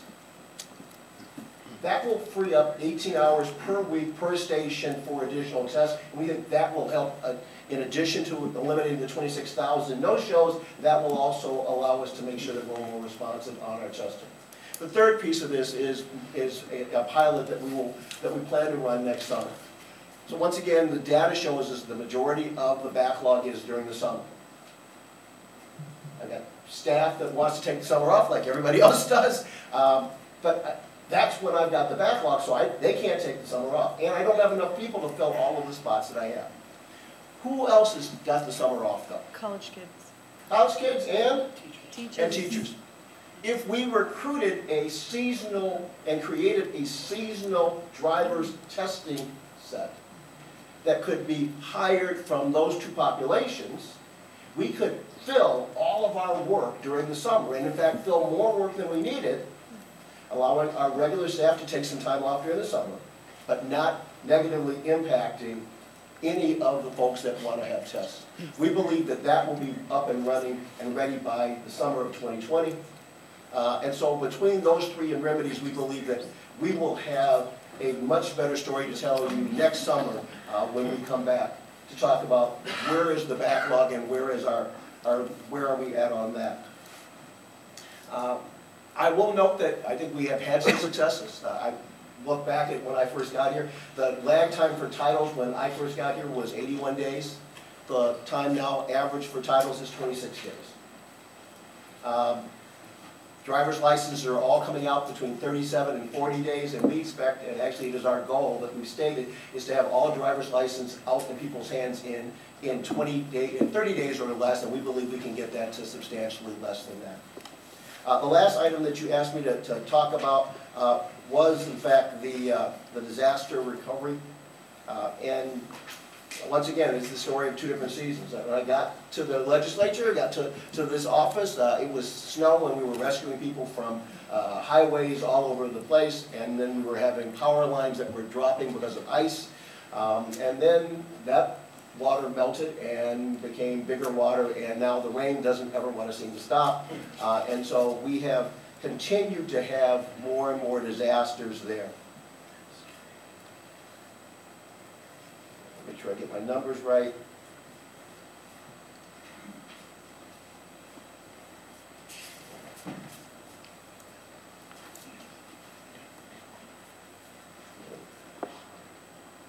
So, since April, we've had 13 major disasters. Uh, There have been three presidential federal disasters. Presidential disasters are different than state disasters in that the federal government pays for 75% of the disaster and the state has to come up with the other 25%. With state disasters, we pay the, we pay the entire amount. Um, There have been 10 territorial disasters declared. We've responded to and designated state or federal disaster aid to 118 different local municipalities uh, and eight tribal nations since, uh, in this, this calendar year.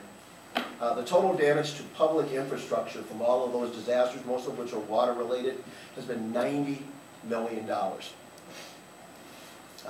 The federal government is on the hook for the majority of that, um, but we have still about $30 million that we believe will be uh, let out from state funds to county and townships. Uh, These are primarily uh, related to roads, and from what we've been told by the local emergency managers, uh, it is roads and bridges that have taken the biggest beating.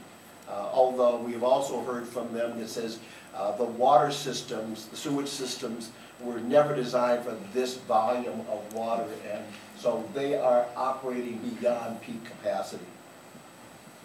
As I said, bridges and roads are the single largest category of damage from the natural disasters. Um, And we are told that by several experts that they have never seen uh, the infrastructure that is supposed to handle the water in worse condition. Uh, And many of those folks we talked to have been doing this for 30 years. Uh, We have a number of key multi-agency uh, partnerships. Um, Many of them are really starting to talk about mitigation as much as we're talking about disaster uh, response. So there's the rebuilding of it, but there's also the issue of how do we build so that the next time it floods, we don't have as big a disaster. Uh, And what we're seeing from that is that while there are increasing federal dollars to support mitigation, the state doesn't normally provide the match, and that means that local municipalities then have to, or the counties have to provide that twenty-five percent match. And that is uh, a challenge that most of them are saying they cannot match that dollar for dollar. And so they look to the state for relief, and the dollars that we got through deficiency and through our regular legislative process, which are for the response to these major disasters, are frankly uh, tied up. And the Department of Public Safety out of HSEM does not have the funds currently to be able to support these mitigation efforts. And so um, we are having that conversation with our local partners to say, we are going to have to work with you to try and find other resources to do the mitigation, because if we don't do the mitigation, what we know will happen is the same tragedies that have happened this time will happen again, uh, because the, the flooding is not stopping, and it is, the water continues to come. Uh, That, in, in, in short, is, uh, is my uh, response to the Thank you. questions that you Yes, asked. Mean, thank you. over time, and I No, no. apologize. No, no, that, we, we had a, a big assignment for you, so I, again, appreciate your uh, testimony and appreciate what a wonderful partner you've been uh, to this committee and, and your tenure so far as commissioner. So, uh, members, I just wanted to just, uh, we have a couple questions. Uh, I want those to be brief and the answers to be brief because uh, we have two bills we want to hear and we want to get the public testimony and end on time. And uh, Representative Hausman does have a time constraint because she has another committee to go to. So I'm going to ask Representative Nelson for, to keep his question brief and Representative Elkins to keep his question brief and, and the responses, and then we'll move, be able to move on in our agenda. Uh, Representative Nelson Thank you, Mr. Chair, Commissioner. and and Representative Cosner. Um, The question I had, and you you touched on some of that as you were going on with the uh, driver's license and vehicle, um, the face of the driver's license testing, is the increase in capacity. It seems like, are are we tracking where that is, and it does it make sense to find a way to build another or create another testing area? Even a temporary one during the summer that can help take some of that capacity. In my mind, it doesn't seem like we have any more tests than when I took my test 50 years ago, or my sons took their test 30 years ago, and some of those same places are there. I think the population in our state has increased dramatically since that time, and I guess I said, you touched on some of that, creating a way to increase the capacity by adding staff, temporary staff during the summer, and and slightly in the hours. But we looked at that as a way of possibly finding, mapping it out on where the, where the biggest backlog is, and finding a way to increase capacity by maybe adding another testing site? Commissioner Harrington. Mr. Chair, Representative Nelson, the answer is yes. Uh, We've looked in, in a variety of places. Part of this is looking at where the demographics uh, are telling us we have lot, large cohorts of uh, young people that are driving so that we can in fact place uh, driver's license testing stations there. One of the places we've looked at, for example, is in North Minneapolis. There is a large cohort of young people uh, from a wide variety, and there does, there is no real close testing center there. Um, In this case, it would probably mean we would have them doing their road tests on, on city streets. Uh, As many of us did, that's how I took my test on the south side of Chicago. Uh, It was probably maybe a little more challenging back in those days. So yes, we are looking at that, but we also recognize that we have facilities that are underutilized. We have facilities that are only operating during the morning. And so frankly, getting enough staff to operate them for their full complement We've already built the infrastructure. I think we should try and make sure we use that infrastructure first before we build anything substantially new. Thank you. Representative Elkins. Real quick, um, anecdotally, um, I, we have colleagues who um, have uh, gotten their real ID in like two weeks, uh, who have a top secret security clearances, and other colleagues who have waited two months who don't have top secret security clearances. Do we know how much of the delay is in the handoff from, you know, DVS takes all of the information, it has to be shipped off to Washington DC for the federal background checks and come, and, and then comes back. Do we know how much of the delay is the feds doing their thing as opposed to anything that you have under your control? Commissioner Harrington.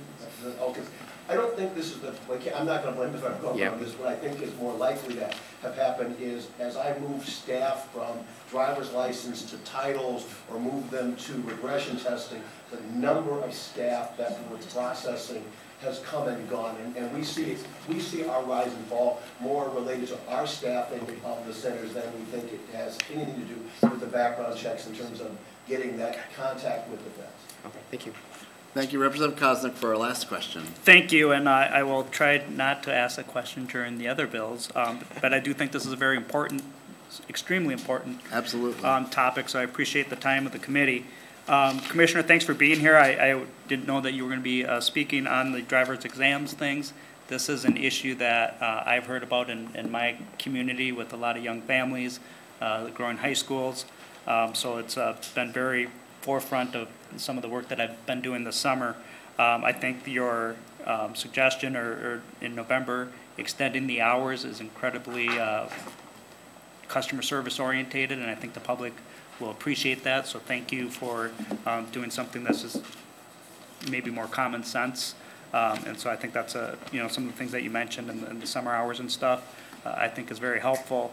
Uh, You know, a lot of the places that I talk to have labor shortages, so uh, your suggestion of trying to have teachers, uh, I think it's, it's outside the box. Um, I'm not sure how many uh, teachers want to kind of do that, but it, it's a good attempt, so um, good luck on that one.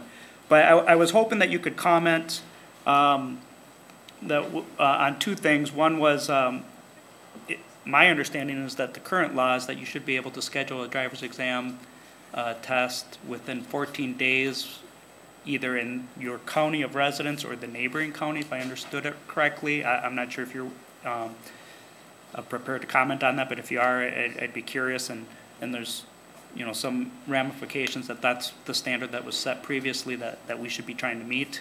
Um, and then further, um, you know, in doing some of the work that I've, I've looked at into this issue, um, could, if you'd be able to comment today, uh, about certain driving schools have standing, uh, test times reserved for them uh, at these training centers. And so if you are a, a mom or a dad uh, trying to take your uh, son or daughter to get tested, uh, the, the driving test done, uh, you have to kind of know the system and, and be willing to pay maybe a little bit more in many cases, an extra hundred bucks or something to these, these uh, certain schools to kind of jump in front of the line. Uh, If you could comment on, on that, if you think that's a, a a practice that should continue, if that's something we should do away with. Um, And then uh, the whole practice of having certain preferred schools have that ability and other schools don't, and, and how they get on that, that preferred list.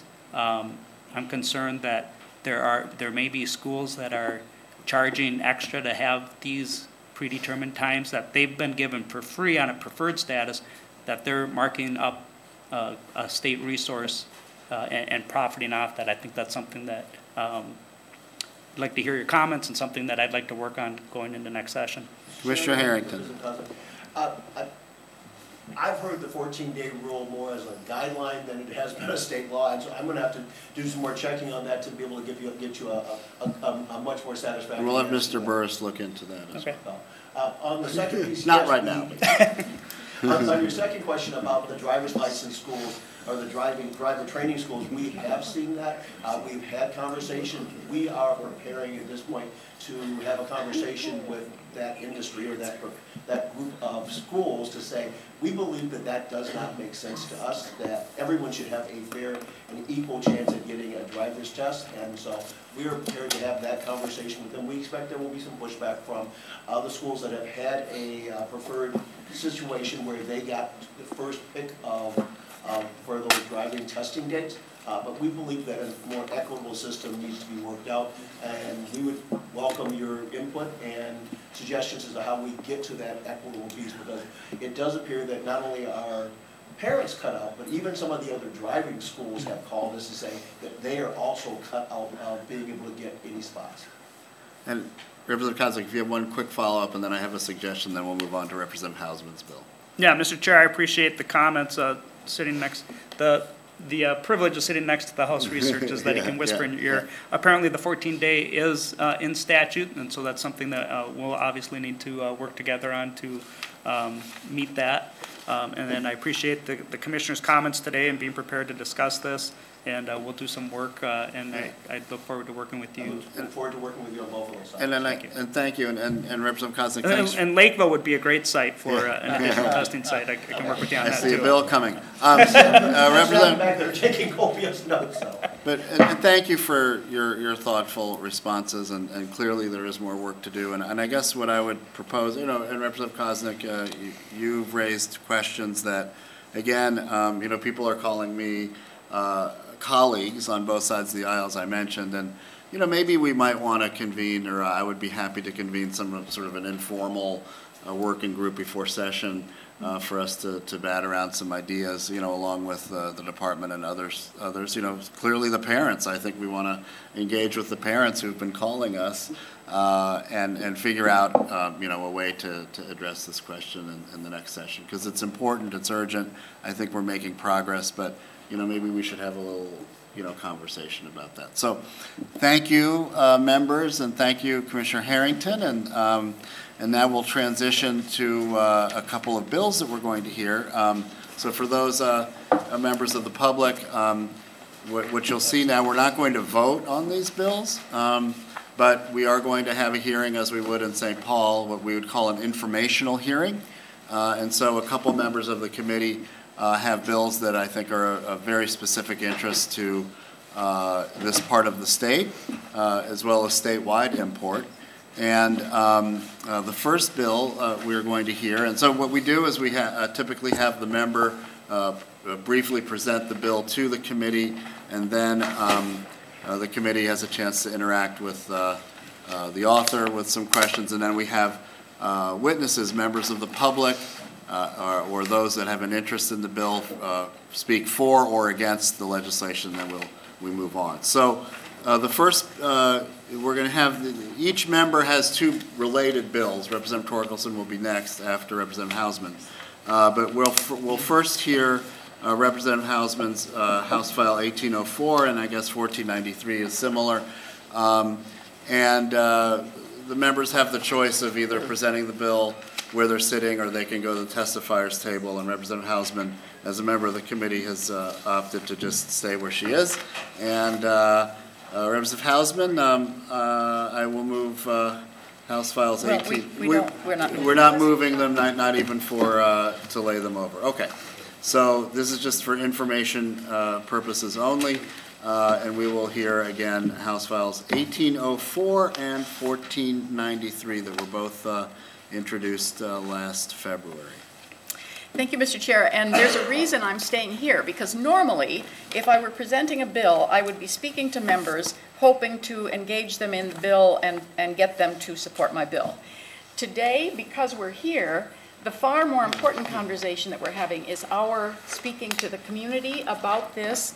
And in this case, because I know uh, the bills I'm presenting, there is huge local support for. And so I'm going to speak very little because we have good testifiers uh, from the communities that, that we're visiting uh, who will speak to their support of this and, and why. Uh, So really, in these two bills, there are, there are three ideas. Uh, In one bill, we just uh, fund the uh, second train to Chicago. Uh, Today, we got a very um, good example of what, one problem we'd solve if we did that. Um, We visited the depot, and the passengers were sitting there waiting. I don't know how long they had been waiting, and they still had to wait longer because the Empire Builder would be coming from the west coast uh, where there has been a lot of snow in Montana and Wyoming. And so there is a, uh, there is, given that long trip and uh, weather uh, delays, they were waiting. If there were a second train a day that just went from the Twin Cities to Chicago, um, they wouldn't be affected by that. And interestingly, as we were having the presentation, and Derek James uh, from Amtrak was, was talking about this, um, one of the couples came up to me after that was waiting, and I mean, they were just quite intrigued by this because clearly they make this trip from uh, the Twin Cities or from Winona to Chicago uh, with some frequency. And it suddenly occurred to them, this would be a really good deal. Uh, And so uh, local, I know we have some local uh, people who will speak to the strong support about this second train to Chicago and its important, importance. In the other bill, uh, we do two things. Uh, One, we fund, um, we provide funding for the department to move forward on the entire state rail plan. There is a state rail plan that's developed, that's been developed by MnDOT. A good bit of work has gone into this. This would fund a variety of corridors uh, that are all at different stages. Um, the Northern Lights Express between the Twin Cities and Duluth, um, additional Amtrak service from um, the uh, Twin Cities to Chicago, and then, uh, Representative Wolgamott, uh, the extension of North Star commuter rail to St. Cloud. A long time ago, we started that corridor, and um, Representative Wolgamott was successful this year in getting some cash to continue the study. That has been driven by local support. Their mayor, their Chamber of Commerce, the, uh, the city all understood the importance of getting that extension to North Star uh, uh, to St. Cloud, and he was successful. He was successful because of local support, and that's why I'm delighted that we're here today and that Red Wing and, and Winona will speak to us about similar uh, local support.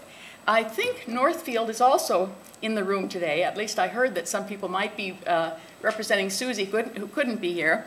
Um, there's a part of that second bill uh, where we provide um, 500,000 from the general fund for study and alternatives from rail service. Uh, uh, the, the ones that have been driving that have been primarily Northfield. Uh, but I know all aboard Minnesota believes uh, that a train to the south has some real promise. Um, for those of you in Northfield, I would invite you to contact newly elected Jeff Brand from St. Peter because I just spoke to him last night and he has a good bit of interest in connecting uh, his part of uh, southern Minnesota as well. So um, I do uh, believe that just as uh, Representative Wolgamott rec recognized that local support is essential, Red Wing and, and um, Winona will provide that today. And uh, I, am not sure if Northfield is, is speaking, but um, at any rate, there's, I think there's reason to hope that, that, that there will be um, additional um, support there. Um, All Aboard Minnesota has done an economic study of the importance of intercity passenger rail to their state and their region. I'm not comparing us to California or New York. I'm, I'm comparing us to the Midwestern states like Texas and Kansas all of whom are understanding the economic impact of intercity passenger rail to their area. They are all happily accepting federal money and federal partnerships uh, to do that. Um, in this case, believe it or not, Minnesota is, is trailing everybody. You know, people are passing us by. Um, all of our Midwest economic competitors. And so this is, uh, I've been carrying these bills for a few years, uh, I am hoping uh, that local support from this region will light a fire as you contact the governor, as you contact your local legislators uh, to, uh, to bring this um, message to bear. And I think, Mr. Chair, I won't say much more than that right now, just because I know we have good testimony and maybe we'll wrap up after. Sure. Uh, well, thank you. Are there any questions from members of the committee to uh, Chair Hausman?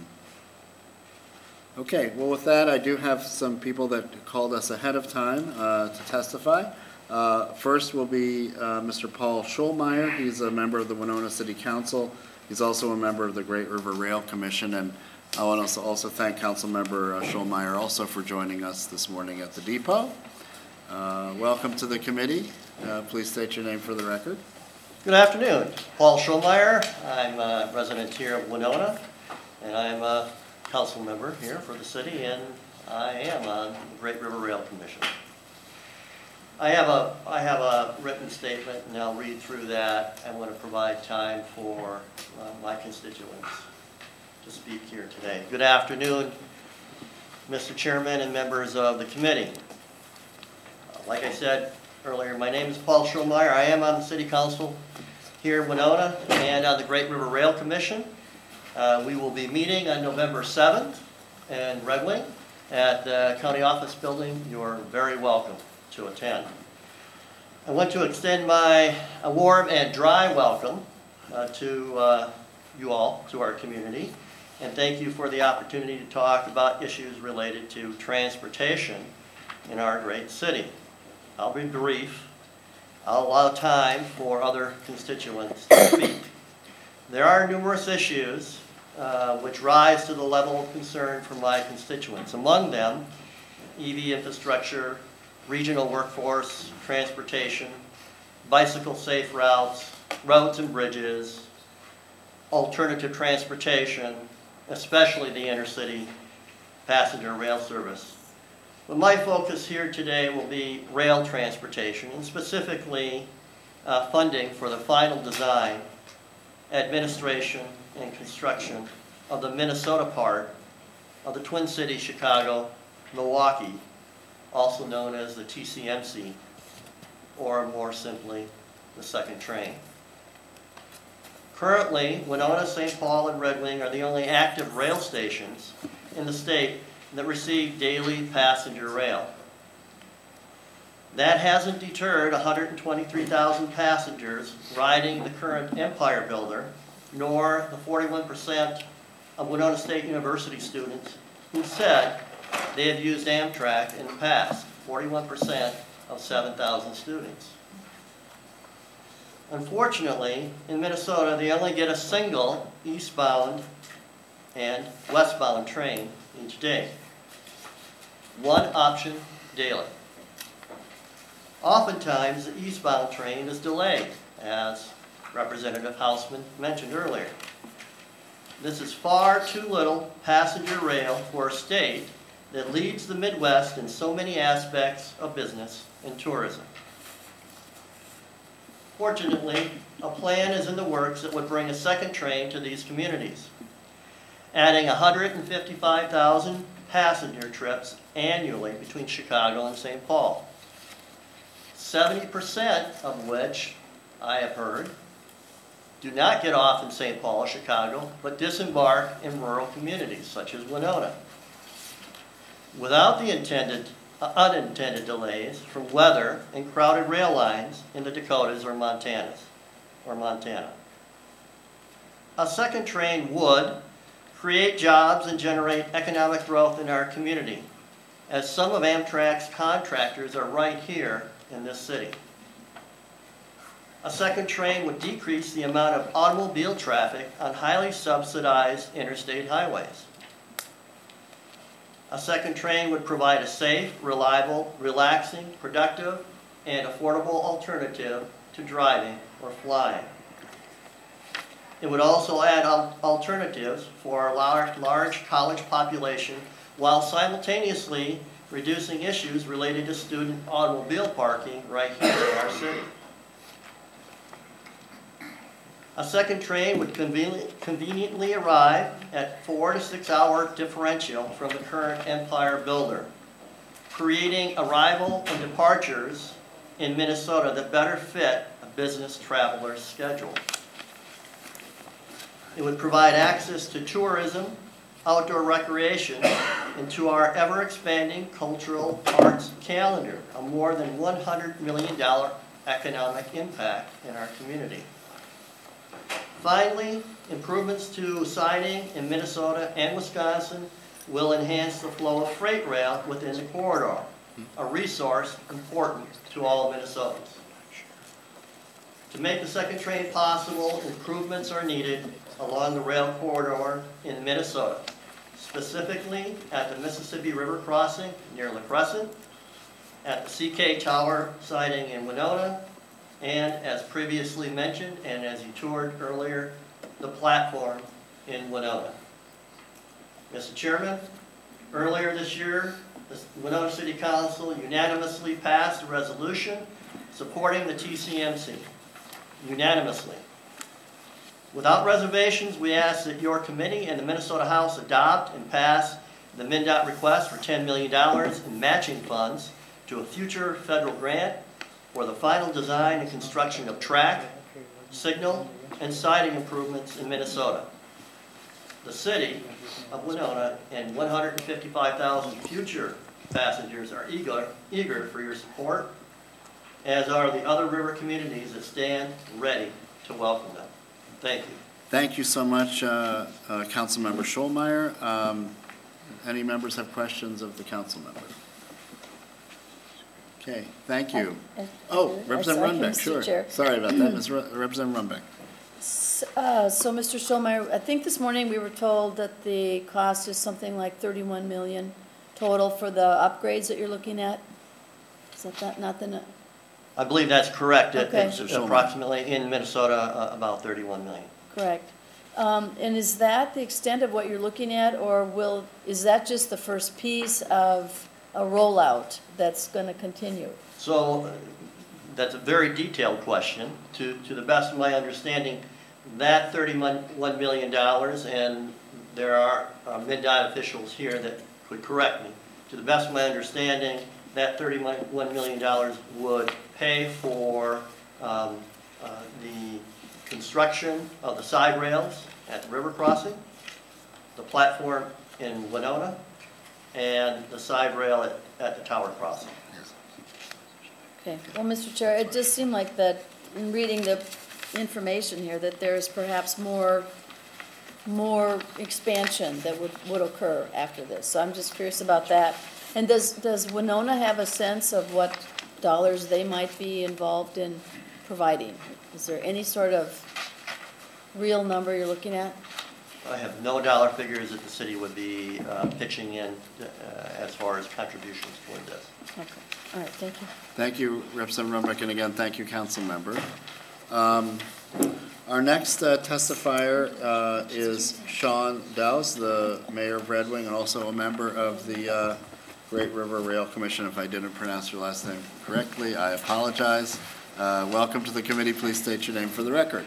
Uh, My name's Sean Dowse, and I'm proud to be uh, uh, the mayor of Red Wing, Minnesota. And It's great to be here, I appreciate you coming down and this opportunity to uh, testify for you. I'm here to support uh, Representative Hausman's bill, also the uh, 10 million, uh, 10 million for the to- uh, Twin City, uh, Milwaukee, Chicago second train. Uh, At present, uh, mostly sold-out trains arrive in Red Wing twice a day. And folks can embark on trips both east and west, and points east and west uh, throughout the country. And visitors can disembark uh, in Red Wing and uh, travel just one block from the station to our historic downtown and uh, hotel and entertainment district. Tourism is a several million dollar industry in Red Wing as part of our economy. We attract visitors from Minnesota, Wisconsin, and all over the country. The increased in uh, trips that would be provided by the second train would provide a safe, reliable travel alternative to Red Wing and our region, and a more convenient schedule of round trips, as, as uh, Mr. Scholmeyer talked about. And I, I really believe that would foster day trips to and from uh, Red Wing, from points north and south, as well as become, uh, encourage trips for work uh, in Red Wing, uh, going to the Twin Cities and Point South. Uh, You have before you, uh, I think, a resolution that the city council passed as Mr. Scholmeyer says, uh, unanimously. Uh, They're noting that uh, the TCMC will offer faster and more reliable travel times and will provide a more attractive and affordable transportation option. Uh, Minnesota Department of Transportation has already led a study to evaluate service schedules and develop conceptual engineering and cost estimates, uh, estimates for, to track, for track and signal uh, improvements in Minnesota and Wisconsin to accommodate the second uh, passenger train. The work was done in 2018 with funding from the Wisconsin Department of Transportation, Ramsey County, and La Crosse Area Planning Committee. No funding was provided by Minnesota for this. So funding for Minnesota is is needed now to provide a statement for future federal grant to complete the final design. Red Wing is a regional center for manufacturing, retail, arts, culture, and tourism. In fact, we are a destination for visitors. Just to let you know that uh, there are riverboats on the Mississippi that travel north and south with visitors, and that uh, those travel opportunities are, are slated to double and triple over the coming years. And Red Wing is the northernmost part of that uh, reach of these travel companies. So we're going to be seeing a huge increase in uh, tourism from riverboats, and I think the opportunity, I think the rail should be a part of this regional growth, and that will benefit the entire state uh, of Minnesota. So, thank you. Thank you, Mayor Dowse. Uh, We have one more testifier, but Oh, Representative. we just have one more? Yeah, Oh, at least one more, but uh, I know can- of one more. Can we more. do one more? Okay, I, um, I have, I I should explain, I am uh, also the, I I chair the Housing Committee in the Minnesota House of Representatives. At another location, we're doing housing. So um, I just happen to have two, two of my issue areas up at the same time, but I, yeah, I- if I could listen to one. Sure, uh, we have, uh, thank you, Mayor. I Appreciate your work, and we have a copy of the resol- resolutions. Um, Brian Nelson from All Aboard Minnesota. Welcome to the committee. Please state your name for the record. Thank you. Good afternoon. Thank you, Mr. Chairman, committee. I'm Brian Nelson, president of All Aboard Minnesota, which is a nonprofit citizen advocacy group to promote more passenger rail service within the state of Minnesota and to connect us to the upper Midwest. We are very strongly supportive of Representative Hausman's bill to not only fund the second train, but to fund the MnDOT state rail plan. Um, It is our belief that the second train, out of all of the routes proposed within the MnDOT state rail plan, offers the greatest propensity for success, mainly because of two factors. One is its relatively low cost to implement the service, and also its projected ridership. As Representative Hausman indicated, we did commission a economic and mobility benefit study for the state around the second train that was published last year. That study is available to you, and we have summarized that for you in a one-sheet overview, which I believe might be included in your packets. But um, I think one of the things that would be very interesting based off the theme of this particular hearing, one of the conclusions of the study is that the second train alone from Twin Cities to Chicago would take an estimated 90,000 riders out of cars. What that means for the state is that it would reduce car miles by 15 million in that corridor.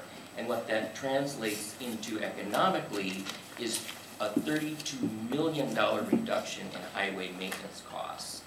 So I think there is a real, real economic and mobility benefit that additional rail passenger service can offer. And because passenger trains are three times more efficient than light vehicles, there would be a significant reduction in greenhouse gases. So we believe so strongly in the second train that it is our platform that we want the second train extended from St. Paul to Fargo.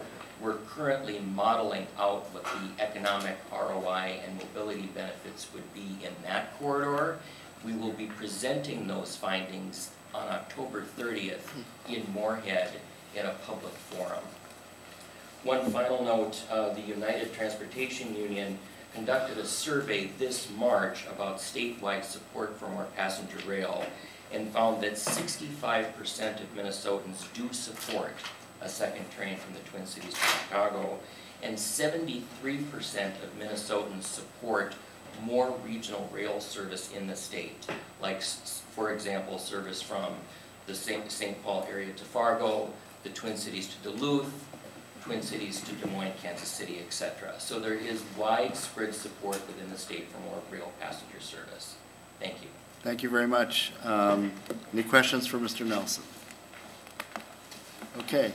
Um, Is there anyone else in the audience who wishes to testify for and against uh, the legislation? We'll take these two gentlemen, and then we'll move on to, uh, oh, these three folks, and then we'll uh, move on to Representative Torkelson's bill. So if you could please come and uh, state your name for the record.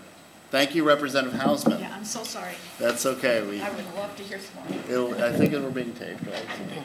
You can listen to our tape, and that, it's available for anyone, available for anyone. Please state your name for the record. Welcome to Winona, and thank you for coming here to, uh, to share with us in this community.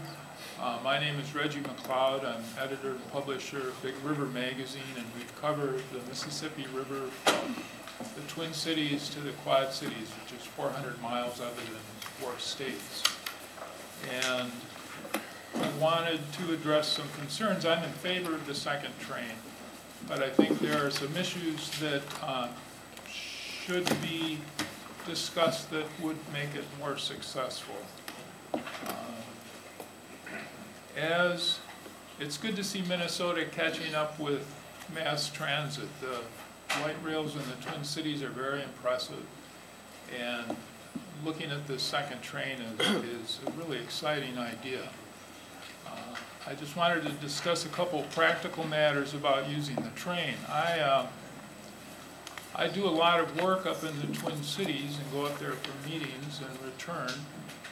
And right now, I can't do that on the train because the train goes up to the Twin Cities at 8 o'clock at night and comes back here at 10 in the morning. And if I were having meetings at, uh, you know, midnight or 3 o'clock in the morning, it would be uh, useful for me. But now it's not useful at all for that, as much as I'd like to use it. Uh, Right now, if the round trip would cost less than $50. If I drive up there and deduct the business expense, it's about $130.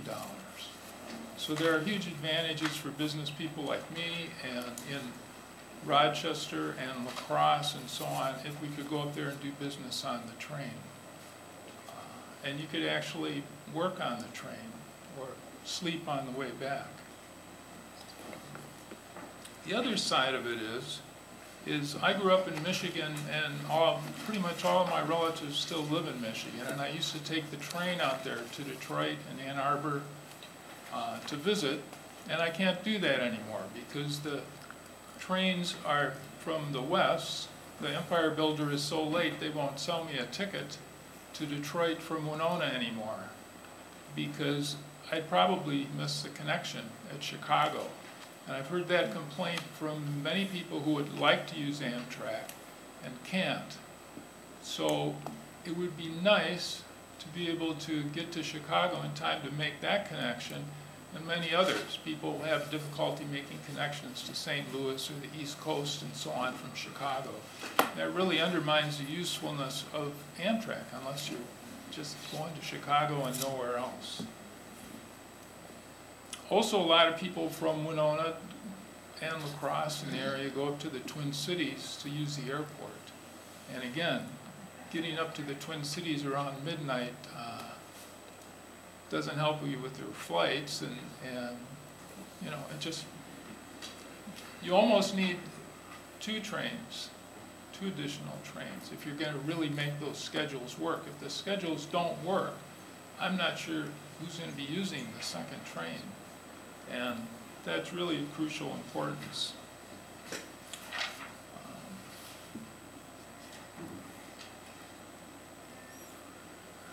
Another thing I think that would be, that would be helpful in this, um, you know, as you know, Rochester has been trying to get a zip line up to the Twin Cities, some kind of rail connection. And I think it would be good to look at the possibility of getting a fast rail connection from Rochester to Lake City or Wabasha, which is only about 35 miles, rather than building a whole rail from Rochester up to St. Paul. And of course, if they had that built, they'd want to build another rail from Rochester to La Crosse, and you'd end up dividing this route between St. Paul and Wisconsin into two routes, and they'd probably each have half as much traffic. Whereas if you could get a 35-mile connection from Rochester to the river, and, and if you look at a map, Lake City and, and Wabasha, either one of those would be pretty convenient, then that would make the people in Rochester closer to Chicago and to the Twin Cities. It would be pretty convenient, and it would probably add a lot to the traffic um, on that rail corridor along the, along the Mississippi River at a fraction of the cost of building a rail from Rochester up to the Twin Cities. Uh, When I do go to Michigan, it's interesting to note there are three round trips every day between Detroit and Chicago. And the Detroit metropolitan area is about the same size as the Twin Cities metropolitan area, and the distance is pretty much the same. And when you have three trains like that running a day, you know, per day, then those are commuter rails. Those are rails that people can use to go to work and do business with regularly because they can depend on them and the trains aren't driving, aren't going across the entire continent, so they're a lot more dependable too. That's a good issue to look at. Between Milwaukee and Chicago, there are seven trains going each way daily. And if you're looking at the Midwest, that's the Midwest, and I, I think we could do a lot better than we have been, and it's very exciting for me to see Minnesota taking this step. Thank you, Mr. McLeod. Are there questions for Mr. McLeod? Okay.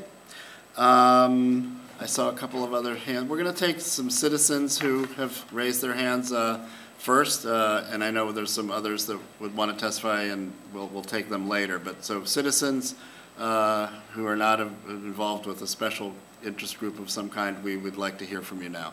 So please, uh, sir and ma'am, and then we'll conclude our testimony on this, uh, on this bill.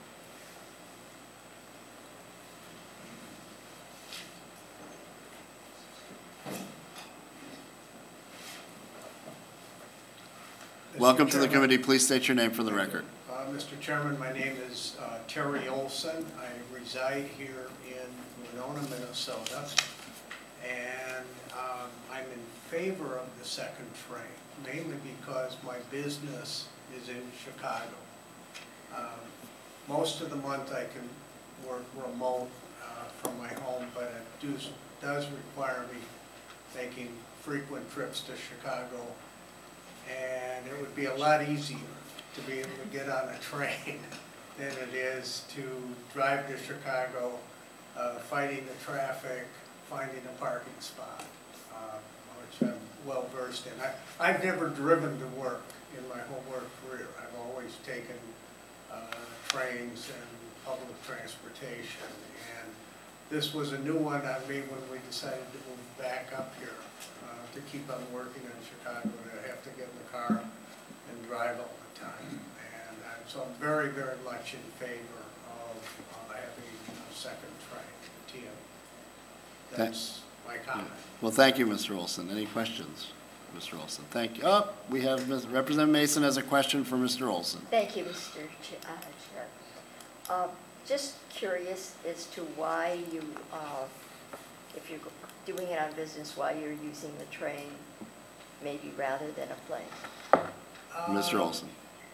Well, I, it's, uh, I look at the Amtrak fares, and they're about half the, uh, most of the time, they're about half of what it costs to drive down La Crosse, uh, get on a plane into Chicago. Plus, I don't mind the five or six hours that would be, my vision of it is, is that the train, uh, the eastbound train would be departing Winona at about 3:15 in the afternoon going east to Chicago. And I don't mind getting there at 9:15 at night, uh, again, then getting on public transportation to get into our apartment there. Um, It's, it's a lot easier than uh, my experience with airports has been, um, you know, delay after delay after delay. Thank you. Rail travel is Yeah. much easier. Thank you for the question and thank you for your testimony. So, ma'am, uh, if you'd like to, Can I make one more point? And I thank the gentleman for his answer, but the other thing I was going to ask, I know people that do not fly, and so they are looking for additional ways to get to Chicago. okay, thank you, Representative Masin. Uh, Welcome to the committee. Please state your name for the record. You're here to testify specifically on this bill? Winona, Winona, Minnesota. I'm sorry, could you repeat your name? I'm sorry. My name is Leon, L-E-O-N-E, Malcheski from Winona, Minnesota. And I'm delighted to be here, and thank you, Mr. Chairman and committee uh, for listening, and uh, welcome to Winona. Uh, We're delighted to have you in our community, and uh, we appreciate your um, listening and uh, uh, wanting to help the entire state of Minnesota with their transportation issues. I am very much in support of the TCMC second train. Um, It would be a huge benefit for uh, the community of Winona. And um, so do consider passing uh, the the bills that are before you. Uh, We have, like was mentioned from Paul and uh, uh, the distinguished gentleman from Red Wing as well, uh, a lot of tourism.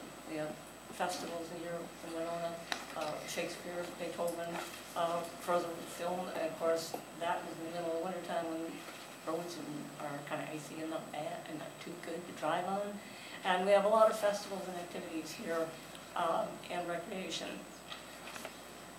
Our student body in Winona, I helped MnDOT do uh, a study with the uh, Midwest Interstate Highway Passenger Rail Commission. And what that whole commission meeting, uh, that- that study was to look at uh, college and universities to find out what kind of ridership that was used in the entire Midwest. And the results were that forty-one percent in Winona that that responded to the survey do use the train. And fifty-five percent actually mentioned that they would use it more if it were more frequent on-time scheduling and, um, and more options. So for our universities uh, in Winona, St. Mary's and Winona State and vocational school, this is a very important issue for them to keep their uh, university costs down and to be able to transport back and forth to their home and so forth.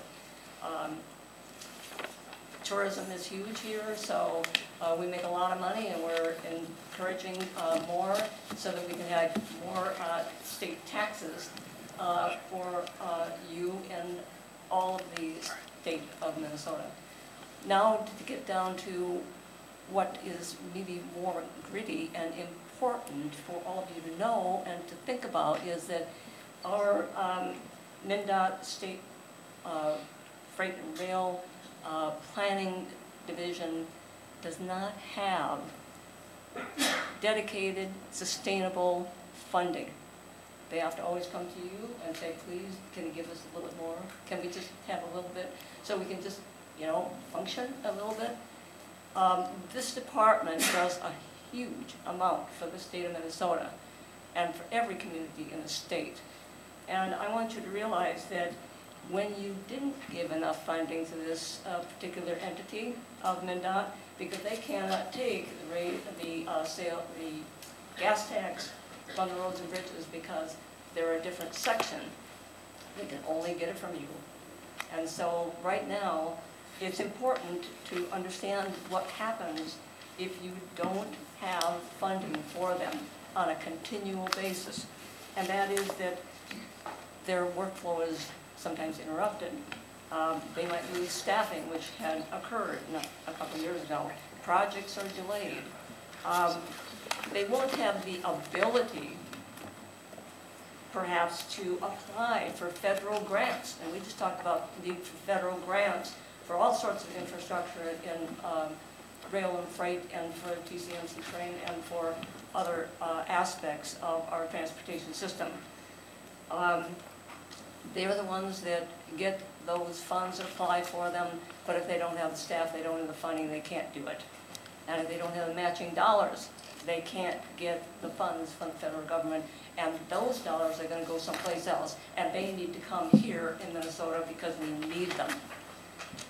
Next, we uh, want to let you know that it's important what they do for uh, intermodal uh, transportation.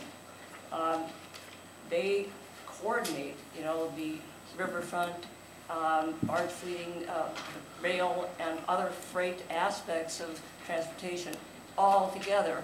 And they need that planning dollars to be able to function and make that happen for us. The development and implementation of any intercity passenger rail in the entire state of Minnesota is going to fall into this planning division of MnDOT. And if you don't fund them continuously and without interruption with dedicated funds, they might not be able to function or even implement or even help in actually operating any passenger rail in the state of Minnesota. This is how critical it is. So please, find some way. And my suggestion is that you take the rail, uh, real estate taxes that our CP railroads, BNSF, and so forth pay to the state of Minnesota, plus their diesel fuel gas tax that they pay to go into freight and Uh, rail. Ms. Malcheski, yeah, thank you. Um, We have a number of other people that want to I'm sorry. testify, and if you But can wrap up quickly, or if you're done, that's great. a little uh, summation of other kinds of. You you can submit written comments. Uh, We'd like to hear all of your comments, and and if you could submit them in writing to our committee legislative Anyone assistant, that would be great. Thank you. Questions? Oh, we have your comments. Excellent. Thank you very much. Thank you. So um, I know that uh, Mr. Qualley wanted to testify on this and the other bills. Uh, Mr. Qualley, I think rather than having you get up, sit down, get up, come back, we'll, we'll have you, uh, it- it- no, no, no, no, we'll have you uh, just summarize all of your comments on all of the bills later uh, during the public testimony. So thank you, members. This will conclude our um, uh, public testimony and um, question and answer on the um, uh, second line to Chicago. And now I'd like to uh, call on Representative Torkelson uh, to present again on an informational basis. Uh, He has a couple of bills as well, Um, and those are House Files 2504 and 1930. And um, uh, Representative Torkelson, you also have some testifiers, and we'll, we'll call on them as well. So thank you very much, and you'd prefer to be here as well? not? I think I'll stay here too, Okay. Mr. Chair, Okay. following the lead of Representative Hausman uh, and the uh, little bit different situation we're in today. So thank you, Mr. Chair, for hearing these bills. These, both of these bills uh, relate to freight rail uh, in Minnesota, and especially the short line freight rails. Um, You know, we have a class system of railroads uh, in the state and and in the country. Uh, The Class 1 railroads really operate under the auspices of the federal government. But the short line railroads uh, really need our local state support in order to function. Uh, And these two bills really highlight uh, some of the issues surrounding the short line freight railroads here in Minnesota. Uh, As we've been here in Winona over the last couple of days, we've seen how Winona in particular is an important transportation hub. If you go down to the harbor today, you'll see, uh, you'll see uh, barges loaded with, uh, with the parts for uh, windmills. uh, Electric uh, production with windmills, they come in here on barge, but they need to leave here on something, whether it's a train or a truck, in order to get to their final destination. Uh, Anytime we can get heavy freight off of our roads and onto the railroad system, it saves wear and tear on our highway system and leaves room for the people that really need to use the highway to get where they have to go, either with a truck or a car. Uh, And we have seen, you know, the abandonment of many uh, miles of railroad track over the last few decades. Uh, We really can't afford to lose any more, and we need to upgrade, upgrade those uh, freight rail lines that we do have in place. Uh, These two bills highlight that. Uh, Mr. Chair, I have a couple of people here that know a whole lot more about this than I ever will, and uh, you, I think these folks would much rather listen to some expert testimony than mine. Well, thank you, Representative Torkelson. I want to underline that Chair Beard, Commissioner Beard, please uh, uh, come up. But I also want to underline the importance of these bills to this region as well, uh, just as Representative Hausman's bills were uh, important to this area. Yours are as well. And I'm glad that we have uh, uh, Mr. Beard, who uh, is now a county commissioner in Scott County, but also is here in a different, wearing a different hat today, uh, but really knows a lot about all transportation issues, and uh, appreciate you being here. And of course, Mr. Beard was also the chair of this committee as well at one time. So welcome back to your committee. Mr. Chairman, I feel like I'm back home, old home week, with some new faces at the table, I see. Um, But yes, thank you for being my loyal uh, foil while I was the chair, as I enjoyed being your loyal foil when you were the chair, Mr. Chairman. Um, For the record, my name is Mike Beard. I'm here uh, representing the Minnesota Valley Regional Rail Authority from Redwood Falls, Minnesota. My personal home is in Shakopee, Minnesota. My representative is sitting at the table today. Representative Tabke, it's good to see you. You too. Um, Mr. Chairman, uh, two of my favorite topics, well, anything transportation is one of my favorites, but planes and trains are right up there with the best. And so today I'm going to talk about trains, if I may. But before I do, Mr. Chairman, uh, Mr. Wagner is behind me to testify. Yes. And I know you have a hard stop at some point Well, we'll- we'd like to stop at five or a little after. We have about eight citizens that want to testify as well. Uh, We can get to them maybe about 20 to five if you need uh, that amount of time or or less. Well, then I Um, won't give you the 20-minute version. I'll try my best to give Okay. you the six-minute version. Okay, well, I mean, t- take, take your time, but um, we do have some constraints, and I want to make sure that citizens know that they are welcome, and you, we will have time to testify. So five, maybe a few minutes after five is our stop time. Thank you. Um, Mr. Chairman, I've been in front of this committee before uh, on behalf of this, uh, this piece of railroad track, which is 94 miles of freight rail that was abandoned by the Chicago Northwestern in about 1984, or 85, in that time frame. Um, This was originally part of the, of a grand scheme by investors uh, that formed a company called the Minneapolis and St. Louis Railroad Company, had grand designs of circumventing Chicago back in the 1880s, and we're going to build to Chicago from the Twin Cities. Um, Actually, that's where the name St. Louis Park came from, uh, members, because uh, the railroad never reached St. Louis, it made it to Peoria. And so they somehow prevailed on the city fathers and what then was, I can't even remember the name of the, of the suburb, but they changed their name to St. Louis Park, just so. That is fascinating, Mr. Reed, I did not know. Well, they, they could, they could have some credibility to the name of their company, but they were heading for the west coast. Everybody wanted to get to the Pacific. The line we actually are dealing with today is part of that grand design. Uh, made it as far as the Missouri River at one time and has been abandoned over the years back as far as, um, uh, Dawson, Madison, Minnesota. Uh, the- This was abandoned by the Chicago Northwestern in the 1980s, as I mentioned. Uh, Was operated unsuccessfully by some severely undercapitalized short line companies until about the year 2000, when five counties, as per Minnesota statute, created a regional rail authority and purchased the line uh, from the trustee. Um, The state of Minnesota has helped with that uh, ever since to the tune of about $34 million to date, which has rebuilt about 41 miles of track with brand-new rail ties and ballast and about 15 new bridges, uh, culverts that have been converted to bridges. Uh, What you have in front of you there is a document we prepared a year and a half ago for a Tiger Grant application. Your most recent award through the bonding committee to this rail authority was for $4 million uh, with the permission of the Commissioner of Transportation. We kind of held on to that for about six months, and we're going to use that for the local match on the Tiger Grant application. We were not successful in that, so we went ahead and uh, got a phenomenal purchase on some uh, rail and ties, and we uh, converted another six miles of the railroad from basically accepted derelict track to class two 25 mile an hour track that can now handle uh, today's locomotives and uh, grain cars. Uh, The immediate result of that was a $9 million expenditure by South Central Grain and Energy successor company uh, to open a unit train facility for hauling fertilizer inbound uh, in the city of Gibbon, Minnesota. $9 million of new tax base in Gibbon is a really big deal. And that's happened in every small town along this line over the last 15, 17 years as we've been slowly rehabilitating the line heading west.